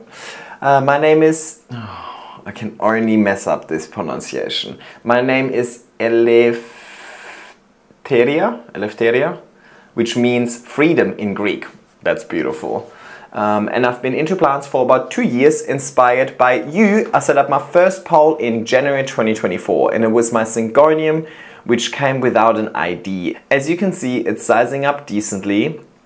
A little later came my Neon Pothos, which is also sizing up and doing very well. Next came my Micans, which is running wild, and my Adansonii, which didn't do that well. Hmm.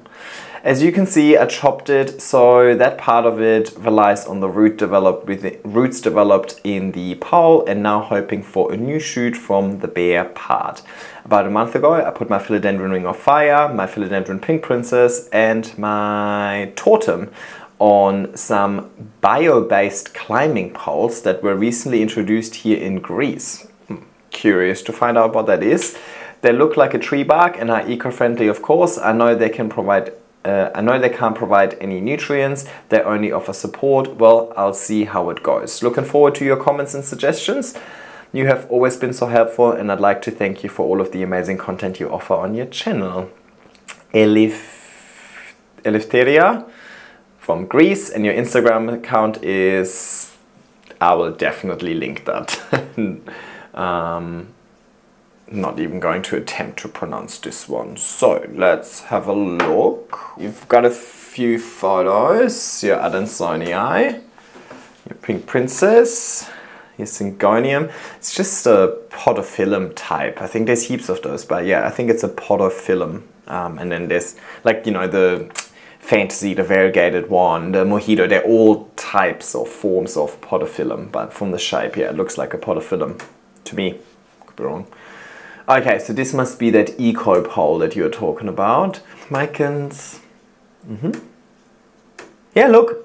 Again, and I think I'm said it for the seventh time in this video today. Like the moss pole in itself is not what's going to set the potential. It's the conditions that set the potential you then need to realize the potential and by just giving it something to climb on it's you know you can realize that potential uh, we've seen it with that ginormous um, what was it Paraiso verde growing on a coco pole or the really nice philodendron in Hawaii just on that little bamboo stick so you can definitely realize the potential. The question is just what are you going to do when the pole, when it reaches the top of the pole? What are you going to do if it outgrows your space? Like you not going to have the propagation benefits and maybe a totem or something like that. Maybe they don't need the propagation benefits. Some plants are hardier than others, but like for example, variegated plants, velvet plants and so on. I would always want to have the propagation benefits to eliminate any setbacks. Um, or plants that grow with really large internodal spacing because, well,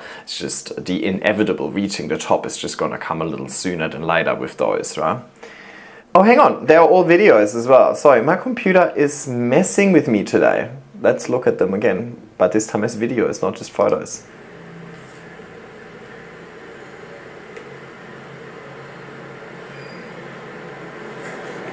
Nice. I do like the neon, the neon pothos actually. Yes, okay, now we can see this a little bit closer. It looks good, it looks like bark, right? And it has nice texture for it to kind of attach to as well, which at times can actually be uh, detrimental in hindsight because how are you going to get it off there? If it attached it but you can't get it off there, you might rip them. I'm talking from experience, trust me. Yeah, very nice increase in leaf size here.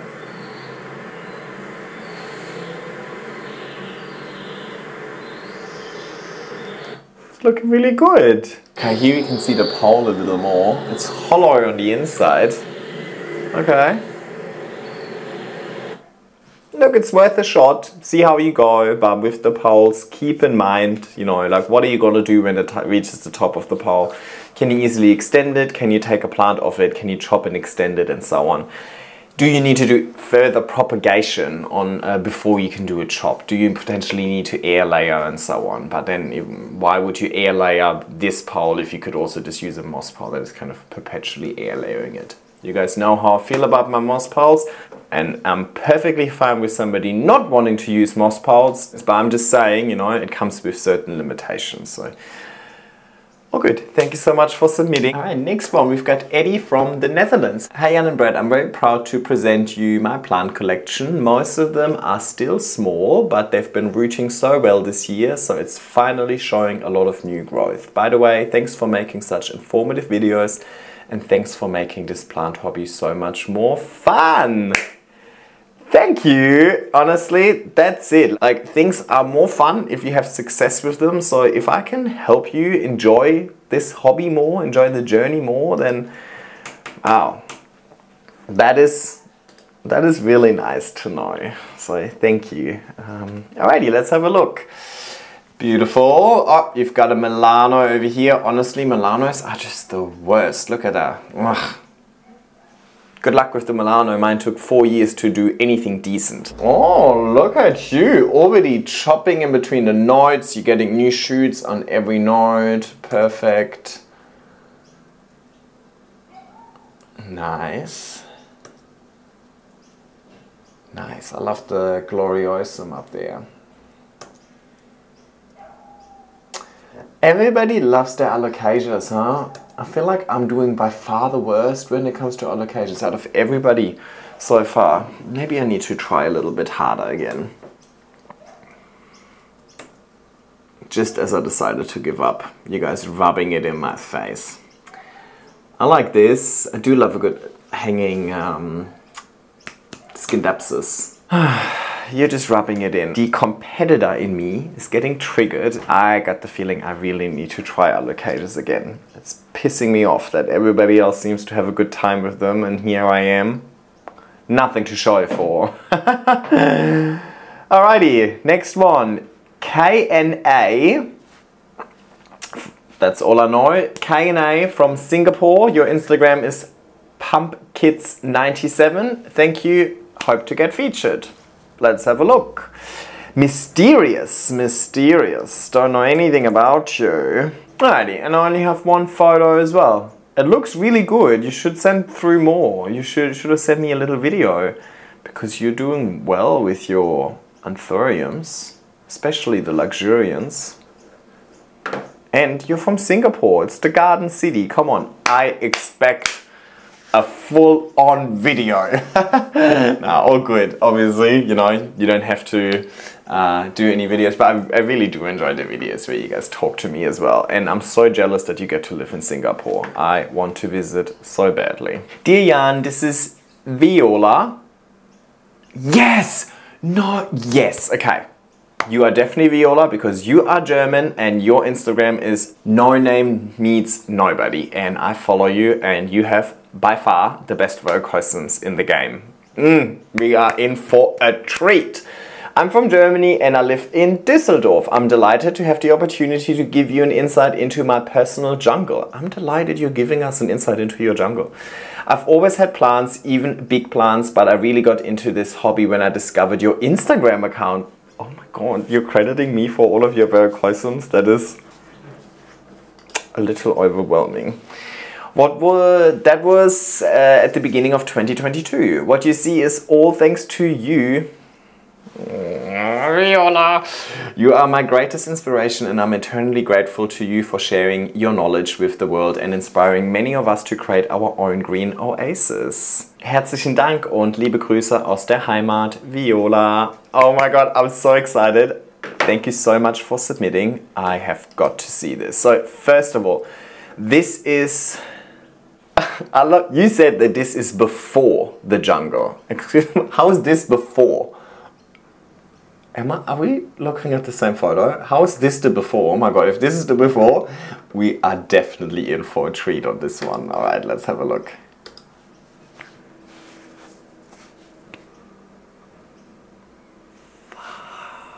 That Melano.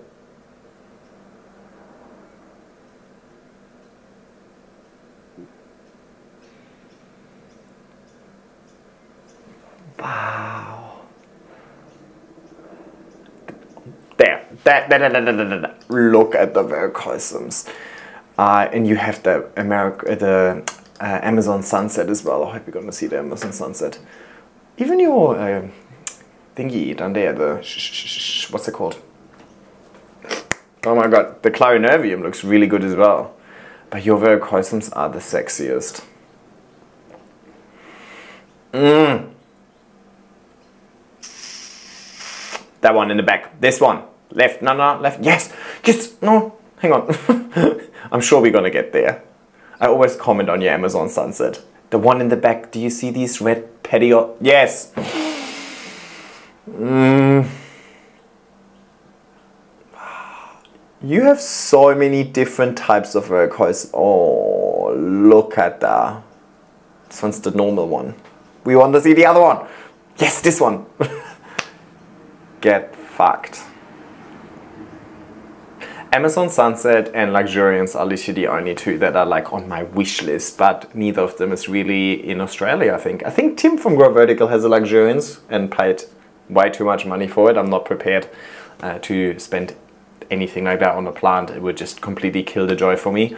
But an Amazon Sunset, mm, we need to get them into Australia because this red back, the mm, See, this, this actually gets me really excited about plants. Um, it's nice. It's nice to feel that sort of enjoyment.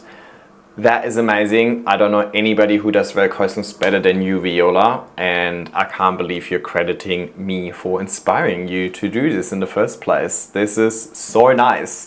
Um, but definitely the student became the teacher in this instance. Thank you so much. Vielen lieben Dank zurück. When I visit Germany next, uh, you're in Düsseldorf, not too far away. When I visit Germany next, I would really like to visit your jungle actually. I know it's kind of a bit creepy, but I would love to. Alrighty, next up. You are a plant whisperer. I've been watching you for a long time and I'm so happy your YouTube channel is doing so well. Thank you. Uh, you can definitely use my name in your videos. It's Cindy from Dundee, Oregon in the US. All my plants are pretty self-explanatory. I don't really have anything exotic. Thank you for all you do and making great content, Cindy. Thank you so much. Honestly, I sometimes much prefer the basics. A nicely grown basic is so much nicer to look at than uh, the fanciest, rarest plant in the world with like one half dying leaf. So let's have a look. Oh, straight away you win me over with that cutie in the background. Come on. How do you expect me to look at the plant with that cutie? Nice. Nice. I love that alocasia on the right. Is that the Gageana? Also not sure, no idea if that's how you pronounce it, but I mean, come on, how could you not pronounce it Gageana? Beautiful. Yeah, look at you, your Jacklyn is doing great actually. And your Gageana, everybody's just rubbing these alocasias in my face today. I think you guys, it's like a conspiracy theory against me at this stage, I'm convinced. uh, cousin. Actually, I want a green oxalis. I love my purple oxalis so much, it would be nice to have a green one. And then imagine you do a little mixed pot. Jose Bueno. Air plant. Never gotten into air plants. Maybe I should. Stop rubbing it in. That's a nice deck, much nicer than mine.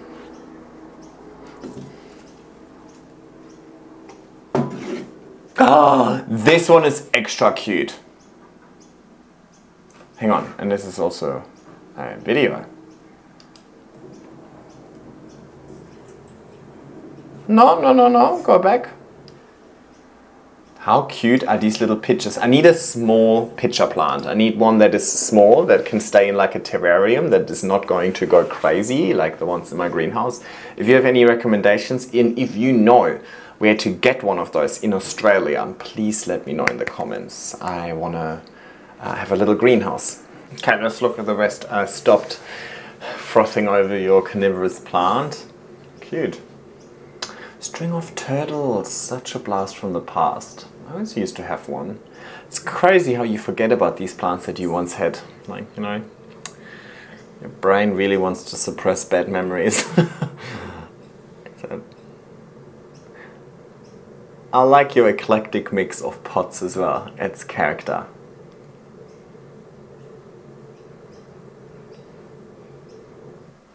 I never had any success with any of the string of anything. String of pearls, string of hearts, string of dolphins, string of bananas. Yours looks really nice.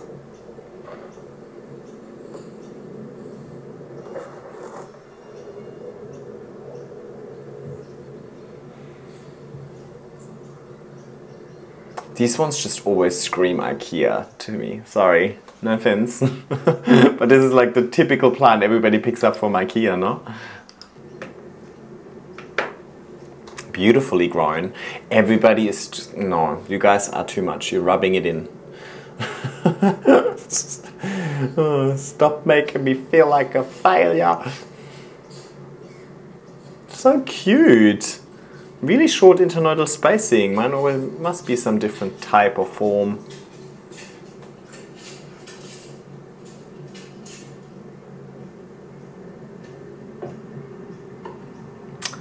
Look at this cute cul-de-sac that you live in and you've got like the prime house. This one, look at that, nice.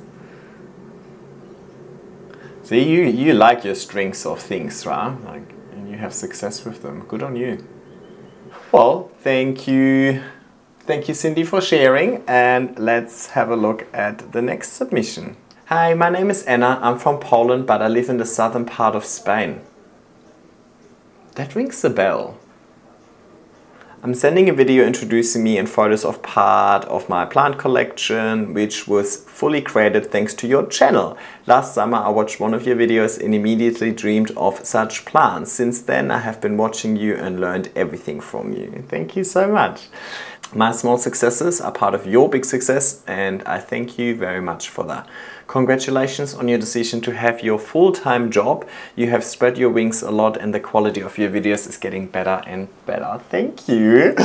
Everyone admires mainly your plants. I would also like to point out that your editing skills, attention to the scenery, the background, good sound quality and your freedom in front of the camera. Oh, thank you. That honestly means a lot because that's the hard part uh, for me, or that was the part that I was most hesitant about, right? I've grown plants for two and a half years before I even started saying a single word uh, online because I was a bit worried about you know how I'm gonna come across and so on. So that's actually really nice to hear. Thank you. Because at the end of the day my job is not necessarily just to grow plants right? My job is to create content. So really appreciate it. And now that I create my own content I have a much better appreciation for other content creators and the work that they put in. But I think it's one of these things that if you don't actively try and do it, you don't really pay attention to it. So I also don't um, don't blame anybody for not pointing it out, but it's even nicer when it does get pointed out. Thank you so much. I keep my fingers crossed for your future development. You sent me a link and your Instagram is Annie underscore Galaska. Have a good day. Anna, you sent through a heap of photos, so let's go through them. Beautiful greenhouse setup, super lush, very nice. Oh, I love this Plaumannii. Also a great camera. Giving it right back at you. Guys, okay, I heard it loud and clear. I need to buy a Paraíso Verde and I need to try alocasias again. I heard you guys, okay. Pasta, bipin this is one of the other ones that I can never like my brain cannot comprehend the sequence of letters in this one. Bipinnatifidum bipinnatifidum bipinnatifidum when I say it, it sounds so easy but if I try and remember this like tomorrow I will always come up with bipinifidum alocasia alocasia. Stop rubbing it in beautiful Nice camera work. You edited this for me as well, I can tell. Thank you. Alocasia Portador, Port, Portodora. Honestly, this one looks like letters to me, which I'm a big fan of. Like, that's a compliment. I love cos letters. This looks like cos letters on a stick. cos lettuce is like literally one of my favorite foods, guys. Like, it's a compliment, trust me. Florida Beauty. Girl, this is just Florida, I think. Panadum Vergata. I don't think this is a Thai constellation. This looks like an albo to me, to be fair. But who am I to judge? Maculata, beautiful. The white vein glorioso looks really good. I need to get one of those. They actually come out of tissue culture here now, so they're quite affordable. Panadum Vergata. Gigas. Nice. That's a good looking El Choco. My mamei always wanted to uh, to crawl, so maybe that's why it's climbing uh, away for running away from your pole.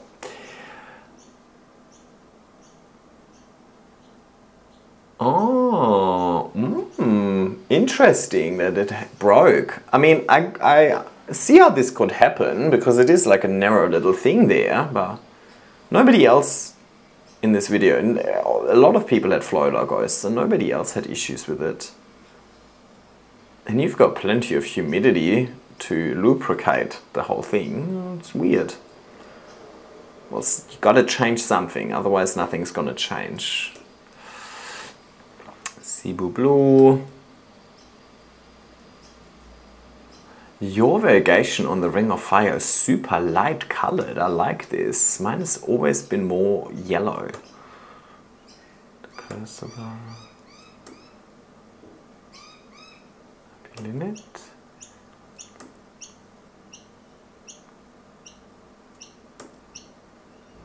Beautiful. Nice dark colors. Also very nice. Suffering but no idea why. Ah, she's she's a finicky queen, you know. And you've got a video and I knew you were gonna ring a bell because Poland living in Spain. We've had that before. You sent me a video before, one of my first videos, and I instantly need to start laughing. I remember you were really funny. So I'm looking forward to this one. Let's have a look. Already, sorry, just the look you're giving me right now. Hi, my name is Anna. I'm from Poland, but I live in Spain. And I also recorded a video for part 2 inspired by SPG. But since last year, everything's changed. I gained weight and I have a greenhouse, which is hugely You did not lose your sense of humor. I, lo I love that you did. Everything has changed. house, which is a huge difference for me because thanks to that, my plant collection has grown so much. And you are grandfather of all these plants because everything is thanks to you. Or because of you. I'm still not sure. I think both is fine, but honestly, the blind bleeding the blind here. I'm, I'm German. um, yeah, I think thanks to you is more like, has a positive connotation. Because of you could be negative, you know, it's like because of you, everything went to shit. Um, I, you could say thanks to you. No, I don't, I don't know. I'll just shut up. I'm not going to give anybody English lessons uh, if it's not my first language in the first place. Quick side note. Actually, I take that back. I have noticed when I get emails from people, if their first language is English, and I'm just purely assuming based on their location. I mean, I live in Australia and my first language isn't English, but I'm just assuming based on the country that they're from. The emails have so many misspellings and grammar is nowhere to be found. Whereas when international people sending me an email in English, I think they're just putting a little bit more effort in it because, well, they need to, you know what I mean? Like, it's not their first language. So they're actually putting an effort trying to make sure that they're saying the right things.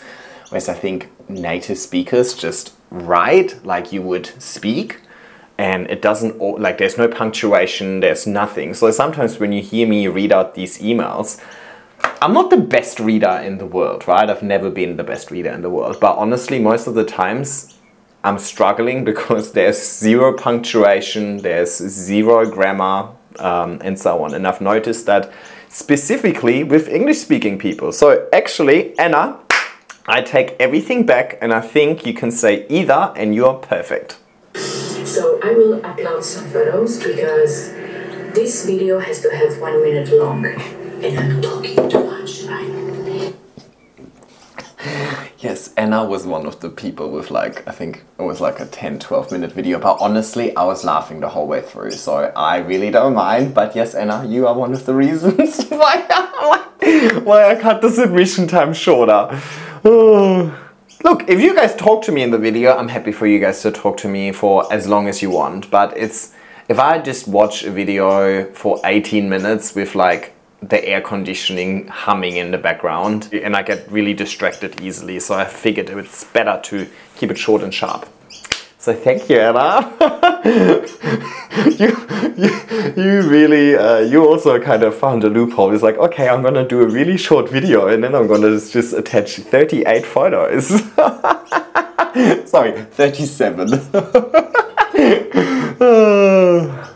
so, we can see part of my collection and yeah, the point is that I really thank you, Jan, for everything. You you teach us that this hobby needs to give us happiness and that life is too short to look at the ugly leaves. I, I love this sentence. So yeah, and I feel like I need to finish because I'm sweating so much. It's 85% humidity here and I'm shining like a dog's balls. So yeah, let's skip to the good part. Thank you, Anna. Wow, I really needed a little pick me up towards the end of this video. I've been filming for, I think, three hours now. So, uh, you are a handful and I love it. I'm here for it. I need to visit you when I'm in Europe next. I think we would get along so well. If you would live in Australia, you would get along with AJ really well as well. I think we would make a great team, a good trio. I love it. And yes, uh, sorry, I completely ignored the plants because I'm so in love with you as a person.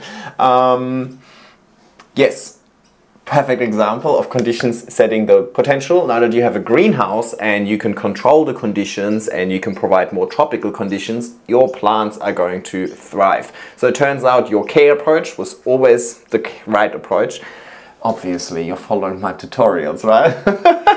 but the conditions were setting you back a little bit. And now that you've solved that issue, the world is your oyster. Sorry for whoever is next, but how are you going to beat Anna? Hey Jan, I hope you and Brett are finding yourselves very well. I'm very well, thank you, and Brett is asleep. So, of course, he's living the life. uh, my name is Evelyn. I'm 46 years old. I'm from New Jersey, USA.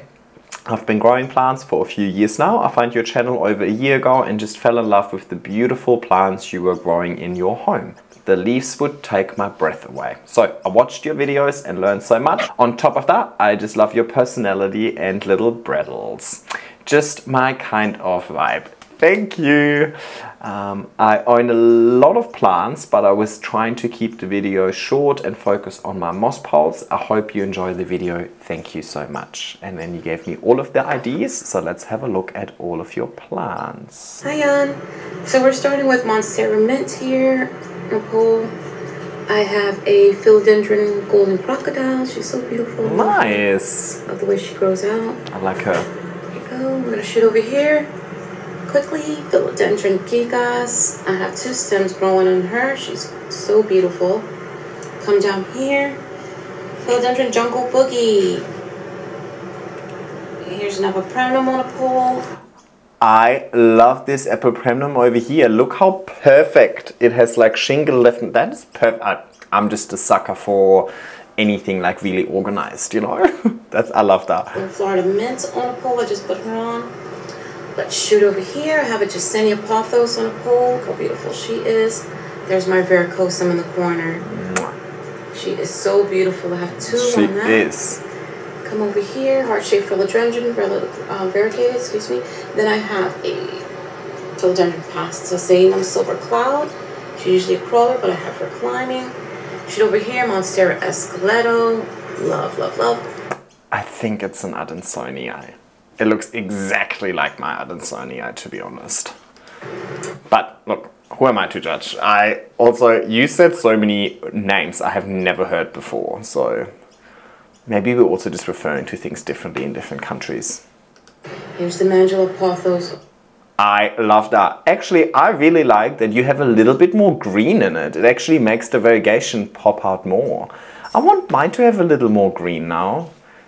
That looks stunning. Just the different shades. Like you've got white, then you have like really, really white. You've got lime green, you've got really dark green, you've got in-between green, you've got these minty shades. There's like 70 shades in one leaf. Oh, oh hello. Excuse me, mister. Have you woken up from your nap? Come here. Hello. Look at this big baby, huh? Hello. Everybody has been saying hello to you and you've been sleeping on the job. Hmm?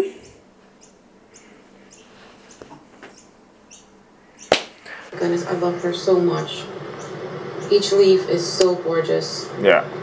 Yours looks have a also, you must do some leaf shine thing, right? Like, that is the shiniest pothos. Same with the other one. Just a pothos, but so beautiful.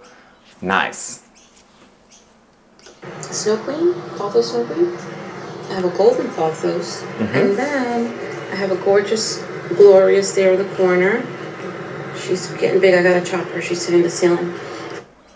Just these three pothos next to each other, so pretty the level of variegation, all of that, and they're all just pothos. Like we don't need to go hardcore, right? We don't need to have the rarest plant in the world. Like these just look so nice because they're nicely grown. Well done. Well done, Evelyn. See, it's not about having the fanciest plants in the world. It's about making sure you grow them really nicely and you're killing it. And then I have like killing it in a good in a good way, you know what I mean? I have a chocolate chocolate red what is this one? Looks like an immediate. You're probably going, about to tell me. Sorry, I should stop interrupting. I'm just sorry. My brain has been taken over by Anna's chaos in the video before. She's super cute. Cephalini. I have her on pole. She's super. I always thought Amidium cephalinum looked different. Oh no, that's the polio. No, no, no, no, no. Yeah. This one looks really nice. I really like her. I've got little ones here on poles, but yeah, this is mainly my pole collection. My collection. Um, I have a small apartment, but it works. Look how gorgeous. Hope you enjoyed. Thank you so much for all of your help. Definitely inspired these poles. Thank you so much. And again, I love how you've got the lights in the middle of the room, so you get the nice presentation side. Very, very impressed by these three pothos you grew over there. They just look so nice. Maybe I should... I have only have a Manjula, actually. I think it's the only pothos I've got. Yeah.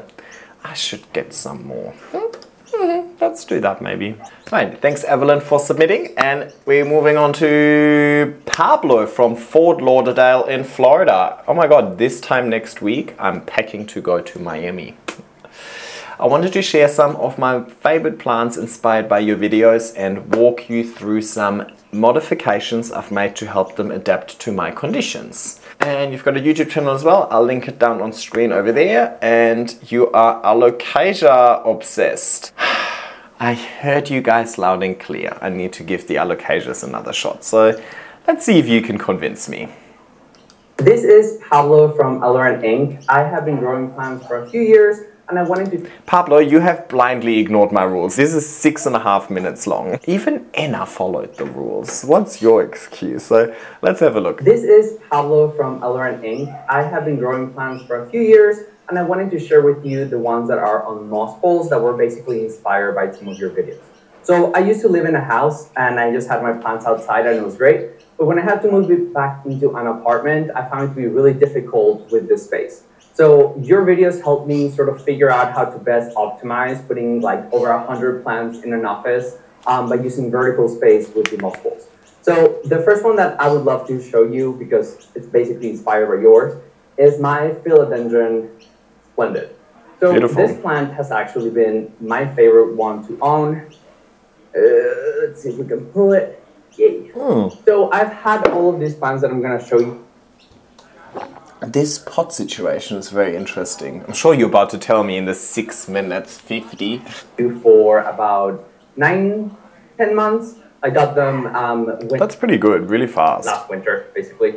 So this one started sizing up really, really well. You can see like where we started up. Um, and then it basically got to the top of the moss pole. I was doing a moss pole extension and I ended up snapping like the top of it. Basically, it started to tilt. I grabbed it and it just like whiplashed off. Um, so it ended up growing two separate growth points, which has been really interesting. And it actually kind of inspired a little experiment that I'll show you at the end of this. And now Keeping me hooked, Pablo, aren't you?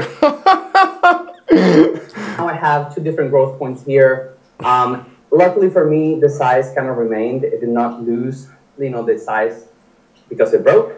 Um, Thanks to yours truly, the root system within your moss pole. now I have two, and I'm not sure what to do with them. I know you like to usually like layer them together, um, but I'm not sure what's going to be the most sort of aesthetic way of it. Um, something that I do with my moss balls, and I know you, you basically teach to learn about moss balls and then adapt them to what works for your own environment. So I also use the kind that has like the plastic back, and then the front is the sort of plastic kind of chicken wire mesh. But, and I know you're not a fan of it, but my conditions just require it. I actually love to saran wrap all of my balls because this allows them to dry out a lot slower. And what I was finding out at the beginning was if I did not have the saran wrap, it would basically just dry out super fast and be like crunchy within like two days. But then the soil or the substrate part was still really, really wet.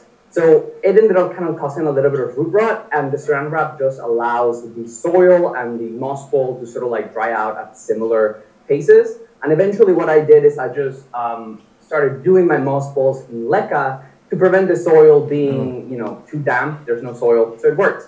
But all of the ones that I'm going to show you are still in soil, which is why I have been a little hesitant. So this is my Philodendron Splendid, and it's definitely my favorite one that I have on a moss ball. In relation to saran wrap, over here we call it cling wrap actually. I don't really like the aesthetics of it, but wow, I would probably be cancelled within one and a half minutes of talking about cling wrap on my moss poles uh, for being so not environmentally friendly. I already get so much hate for using cable ties. Nobody ever complains about plastic pots, by the way, but cable ties, this is too much. So, so yeah, no, nothing I will ever advocate. And I understand as well, we should definitely try and reduce our plastic consumption where possible. Um, anyway, let's not turn this into an environmental debate because that one, nobody will ever win. Uh, yeah, let's keep going. This is my Philodendron glorious, and I would say this is the plant that has sized up the fastest out of all of them in the past 10 months. I mean, you can see sort of like where we started from, it being like a tiny little leaf, to now basically being um, all the way here.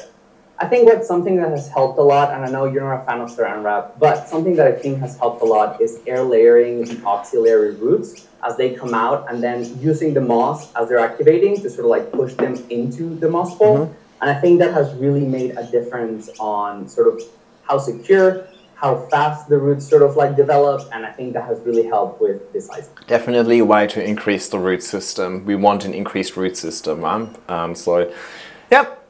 I personally don't think it's necessarily needed, um, and it's a trade-off. But nothing wrong with it. Like, I mean, the principle behind it is 10 out of 10. Here's a quick little footage of what its roots look like because I think it's so much fun to see all this spaghetti coming out of everywhere. So Thank this you. is my Melanochrysum. Um, as you can see, it started off really, really small. This is a melanocrisis. This is not a melanochrysum, and I 100% like I've struggled with this plant for so many years until it's finally beautiful, right there. Finally, it's beautiful after only four years. months back, and now it has gotten to a decent size. But what I have struggled the most is how fast it puts out new leaves. So it doesn't size up really fast, but it just puts out more and more leaves. Right now, it's not even in frame um, because it's getting close to like nine feet um, because that's how tall the ceiling is. Um, and I'm just a little intimidated to do my first like chop. Um, trying to air layer um, some of the. I don't think you need to worry about your chop at all.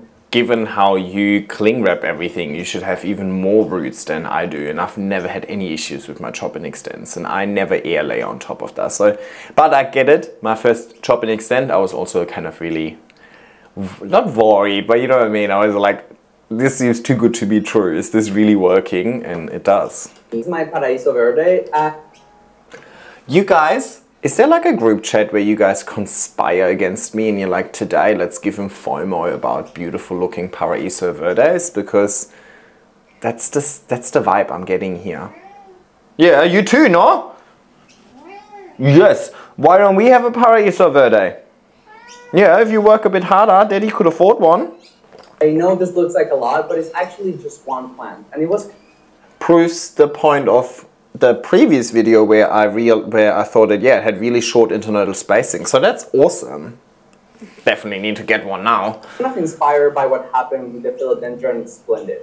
So this plant is actually really difficult. Not only is it temperature dependent its irrigation, but it does not like to be indoors. So I had it indoors with the other plants and it was creating this huge internodal space and it was putting out this really bright green uh, leaves, just mm. like hmm. this one, because the temperature was around 75 degrees. So I hated the way it looked. You guys need to get along with the rest of the world and start using like normal measurements, yeah? Um, why are you, why do you need to be so extra? For the rest of the world, that's 23 degrees, which is perfectly normal indoor temperatures, right? Like, and I just threw it out here.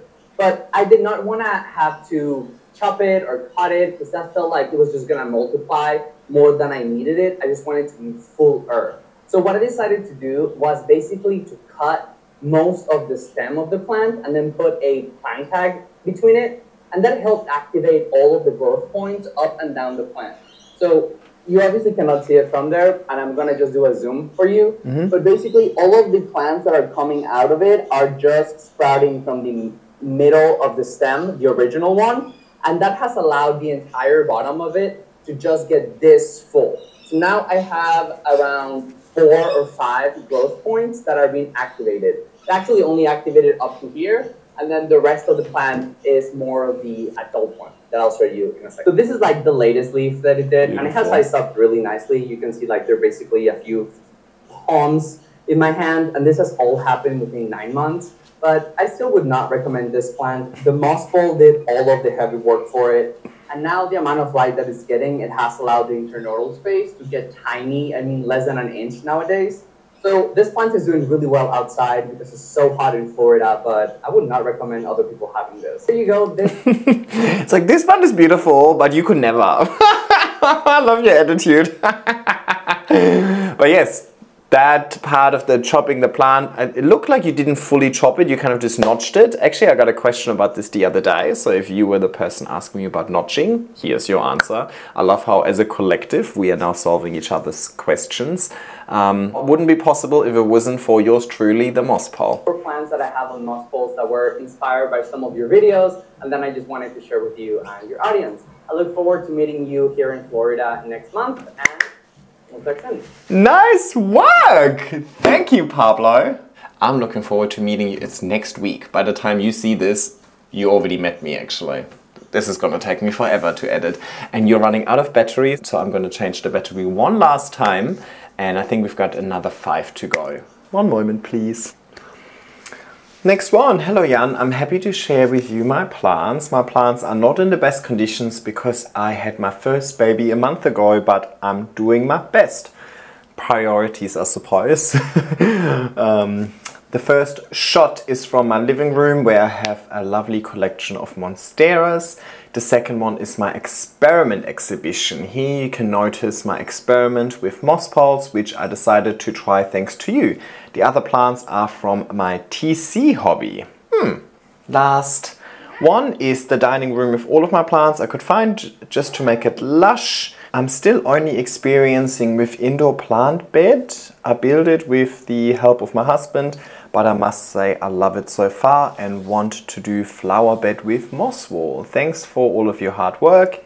Carolina from Prague. No. Baby, it's a little bit more time before dinner, yeah? He's not even adding any value now, he's just distracting me. So let's have a look, Carolina. Nice. Got a beautiful window there last night.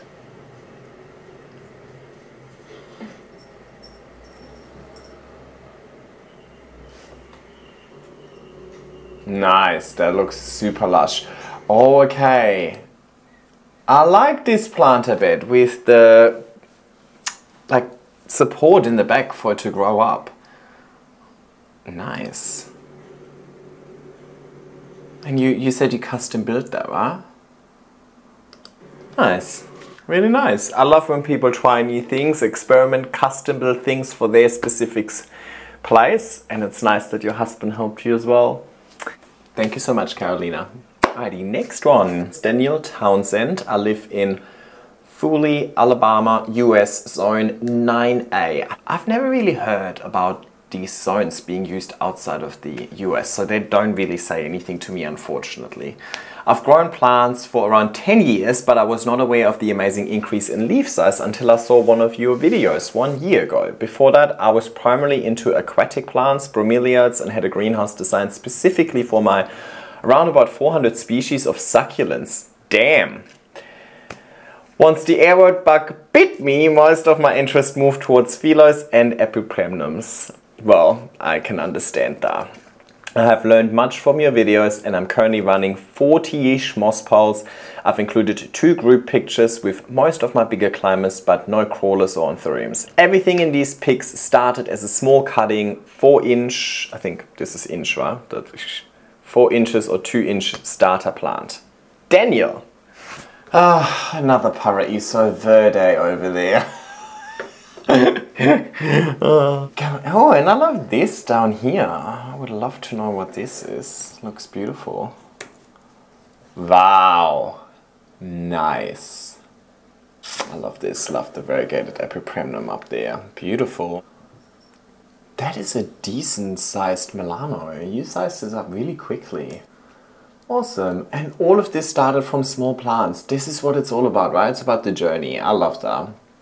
I also love getting really small plants and then growing them. I think it's just so much more rewarding. Thank you, Daniel, for submitting. And sorry I made you catch the aroid bug. Um, but, well, you're doing really well. More rewarding than succulents, right? I'm, I'm a bit biased, maybe. Next one. Hey, my name is Dicky from Indonesia. Thanks for all of your inspiration in, on your channel. These are my plants. Awesome. Let's have a look. Some big Thaumatophyllums. Thaumatophyllum won't need a moss pole, by the way, but up to you. And then you've got a video over here. I have this one inspired from Sydney plant. Well, you are lucky that Indonesia has amazing tropical climate for these plants, right? Look at this just climbing up your fence. Good on you. This was not inspired by me. This is just how nature works. you didn't need to do anything for this. Look at you and look at the roots that it's sending out. Good on you. You don't need all of my moss poles, all of this. You just chuck something in the garden and it's gonna go wild. So lucky you. But good on you, thanks for submitting regardless. And I think this is the last one. Wow, I have been filming for three and a half hours by now. But honestly, your submissions all gave me so much energy. Like I don't feel tired at all. It's really nice to see your plants and hear all of your really nice words. Hey Jan, I love watching your tutorials, although I definitely have mostly trailing plants. Maybe my collection will convince you to try them. I tried them, I have a few, but I just always think climbing is nicer. I have a few plants on moss poles that I'm starting to see size up. The biggest thing I learned from you was accepting that sometimes some plants are just not meant to be grown by me at this time and being less upset when things don't work out. I moved from Sydney to Canberra and the conditions are very different for growing. I also don't have a cabinet and have a busy job, so I've learned some plants are not cold or drought tolerant, very pest prone, or have a growth pattern that doesn't suit my aesthetic and are not for me. Any advice on affordable, easy to source, and aesthetic grow lights? Zoe. Alright, love that. That's a good learning uh, and applies to everybody. Move from Sydney to Canberra. Canberra, uh, for anybody who doesn't know, Canberra is actually the capital of Australia and it's a little more continental, so not as close to the ocean as Sydney. And as a result of that, it gets much cooler as well. So you guys have frost, I believe. I think it gets minus temperatures uh, in Canberra suppose it would probably also get really hot in summer then, but I think the humidity isn't quite as good. So it makes sense why some plants are struggling a little more in Canberra than they are in Sydney. And I love that learning. Um, let's also quickly address the aesthetic light uh, option. Actually, I was contacted by a local a Sydney-based uh, business that have started to uh, manufacture grow lights and uh, only received that two days ago, so a very timely question. Um, and I haven't set it up yet, but I have an experiment in mind that I want to use this grow light for, and I'll share the pudding with you once uh, once I can confidently recommend uh, them, right? For me to recommend a product, I really want to use it and experience uh, growth with it uh, for uh, a while rather than just looking at things in theory. So I'll keep you posted, Zoe. Now let's have a look at your photos. You sent me three of them, I believe. I do, I do like a good trailing plant. Look, I think Rhipsalis are some of the nicest trailing plants and I do love the Strepiontheriums. I think that's a good one. Yeah, look at the Strepiontherium at the top over here. It's also so nice and reflective. And some Hoyas. You're trying to combine more than just three. Oh, here's another one. Nice, you do have some moss poles. I do, I think Scindapsus are a great one to have trailing as well. And yes, I do love this strappy one. Is it a, I don't think it's a Vittarifolium. I think it's the one with P, right? Pala la la la la la. that one. Love the El Choco. You're gonna love that El Choco. To be honest, I have to say your Hoyas don't look that bad. You know, I usually really don't like Hoyas, but yours are really nice and lush. Uh, when I think of Hoyas, I just think of like these tiny pots, like thousands of tiny pots on one shelf with like three leaves each. But if they grow nicely like that, I really don't mind it. Um, yeah. But yeah, I think most importantly, it's a really good reminder. It's like grow the plants that actually have a good time. And I keep talking about conditions versus care, but there's a third really big factor in this equation that's missing, and that's you. Are you willing to put in the effort, right? When you decide on the plants that you want to grow and the care approach that you're going to take for them, you also need to keep in mind your availability, your, your time availability. Do you have other priorities? Is this your full-time job like it is with me or is this just a hobby that's that you've got maybe an hour or so uh, a week to spend on? Or do you rather not watch TV at night and look after your plants? So maybe you do have plenty of time and so on, right? Do you have children? Do you have whatever you? You can't underestimate that. Just because I have made so much time available for my plants doesn't mean that you also want to do that, which means that maybe at times my care approach won't really suit you. So great reminder, Zoe. Thanks for that. And I think that's also a great way to wrap it up. I am feeling a little bit exhausted. I do need to get my eyes off of screens. So I'll probably go around and touch a few plants and water them. Um, and yeah, I really hope you enjoyed this video. I, I have no idea how long this video is going to be by the time you get to see this, but I think it's lengthy. But the worst thing that could happen to me is crickets. If nobody submits anything, then um, yeah, that would make me feel pretty shitty.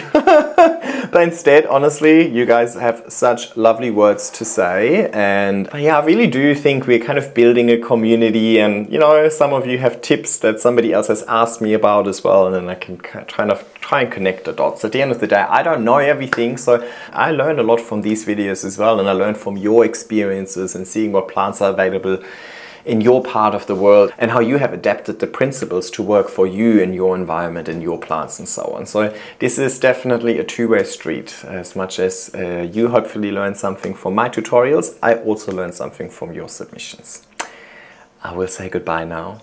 If you made it all the way, Jesus, if you made it all the way, you're a legend but we need to find an emoji for you. Green is the color of jealousy, isn't it? So I think, given how jealous I am of all of your beautiful Paraíso Verdes and success with alocasias, why don't you leave a little green heart emoji or anything green in the comment section? And thank you so much for watching, uh, liking, subscribing, being part of this community, being part of my journey wouldn't be possible if it wasn't for you guys watching my videos. So, but yeah, it's time to say goodbye. See ya!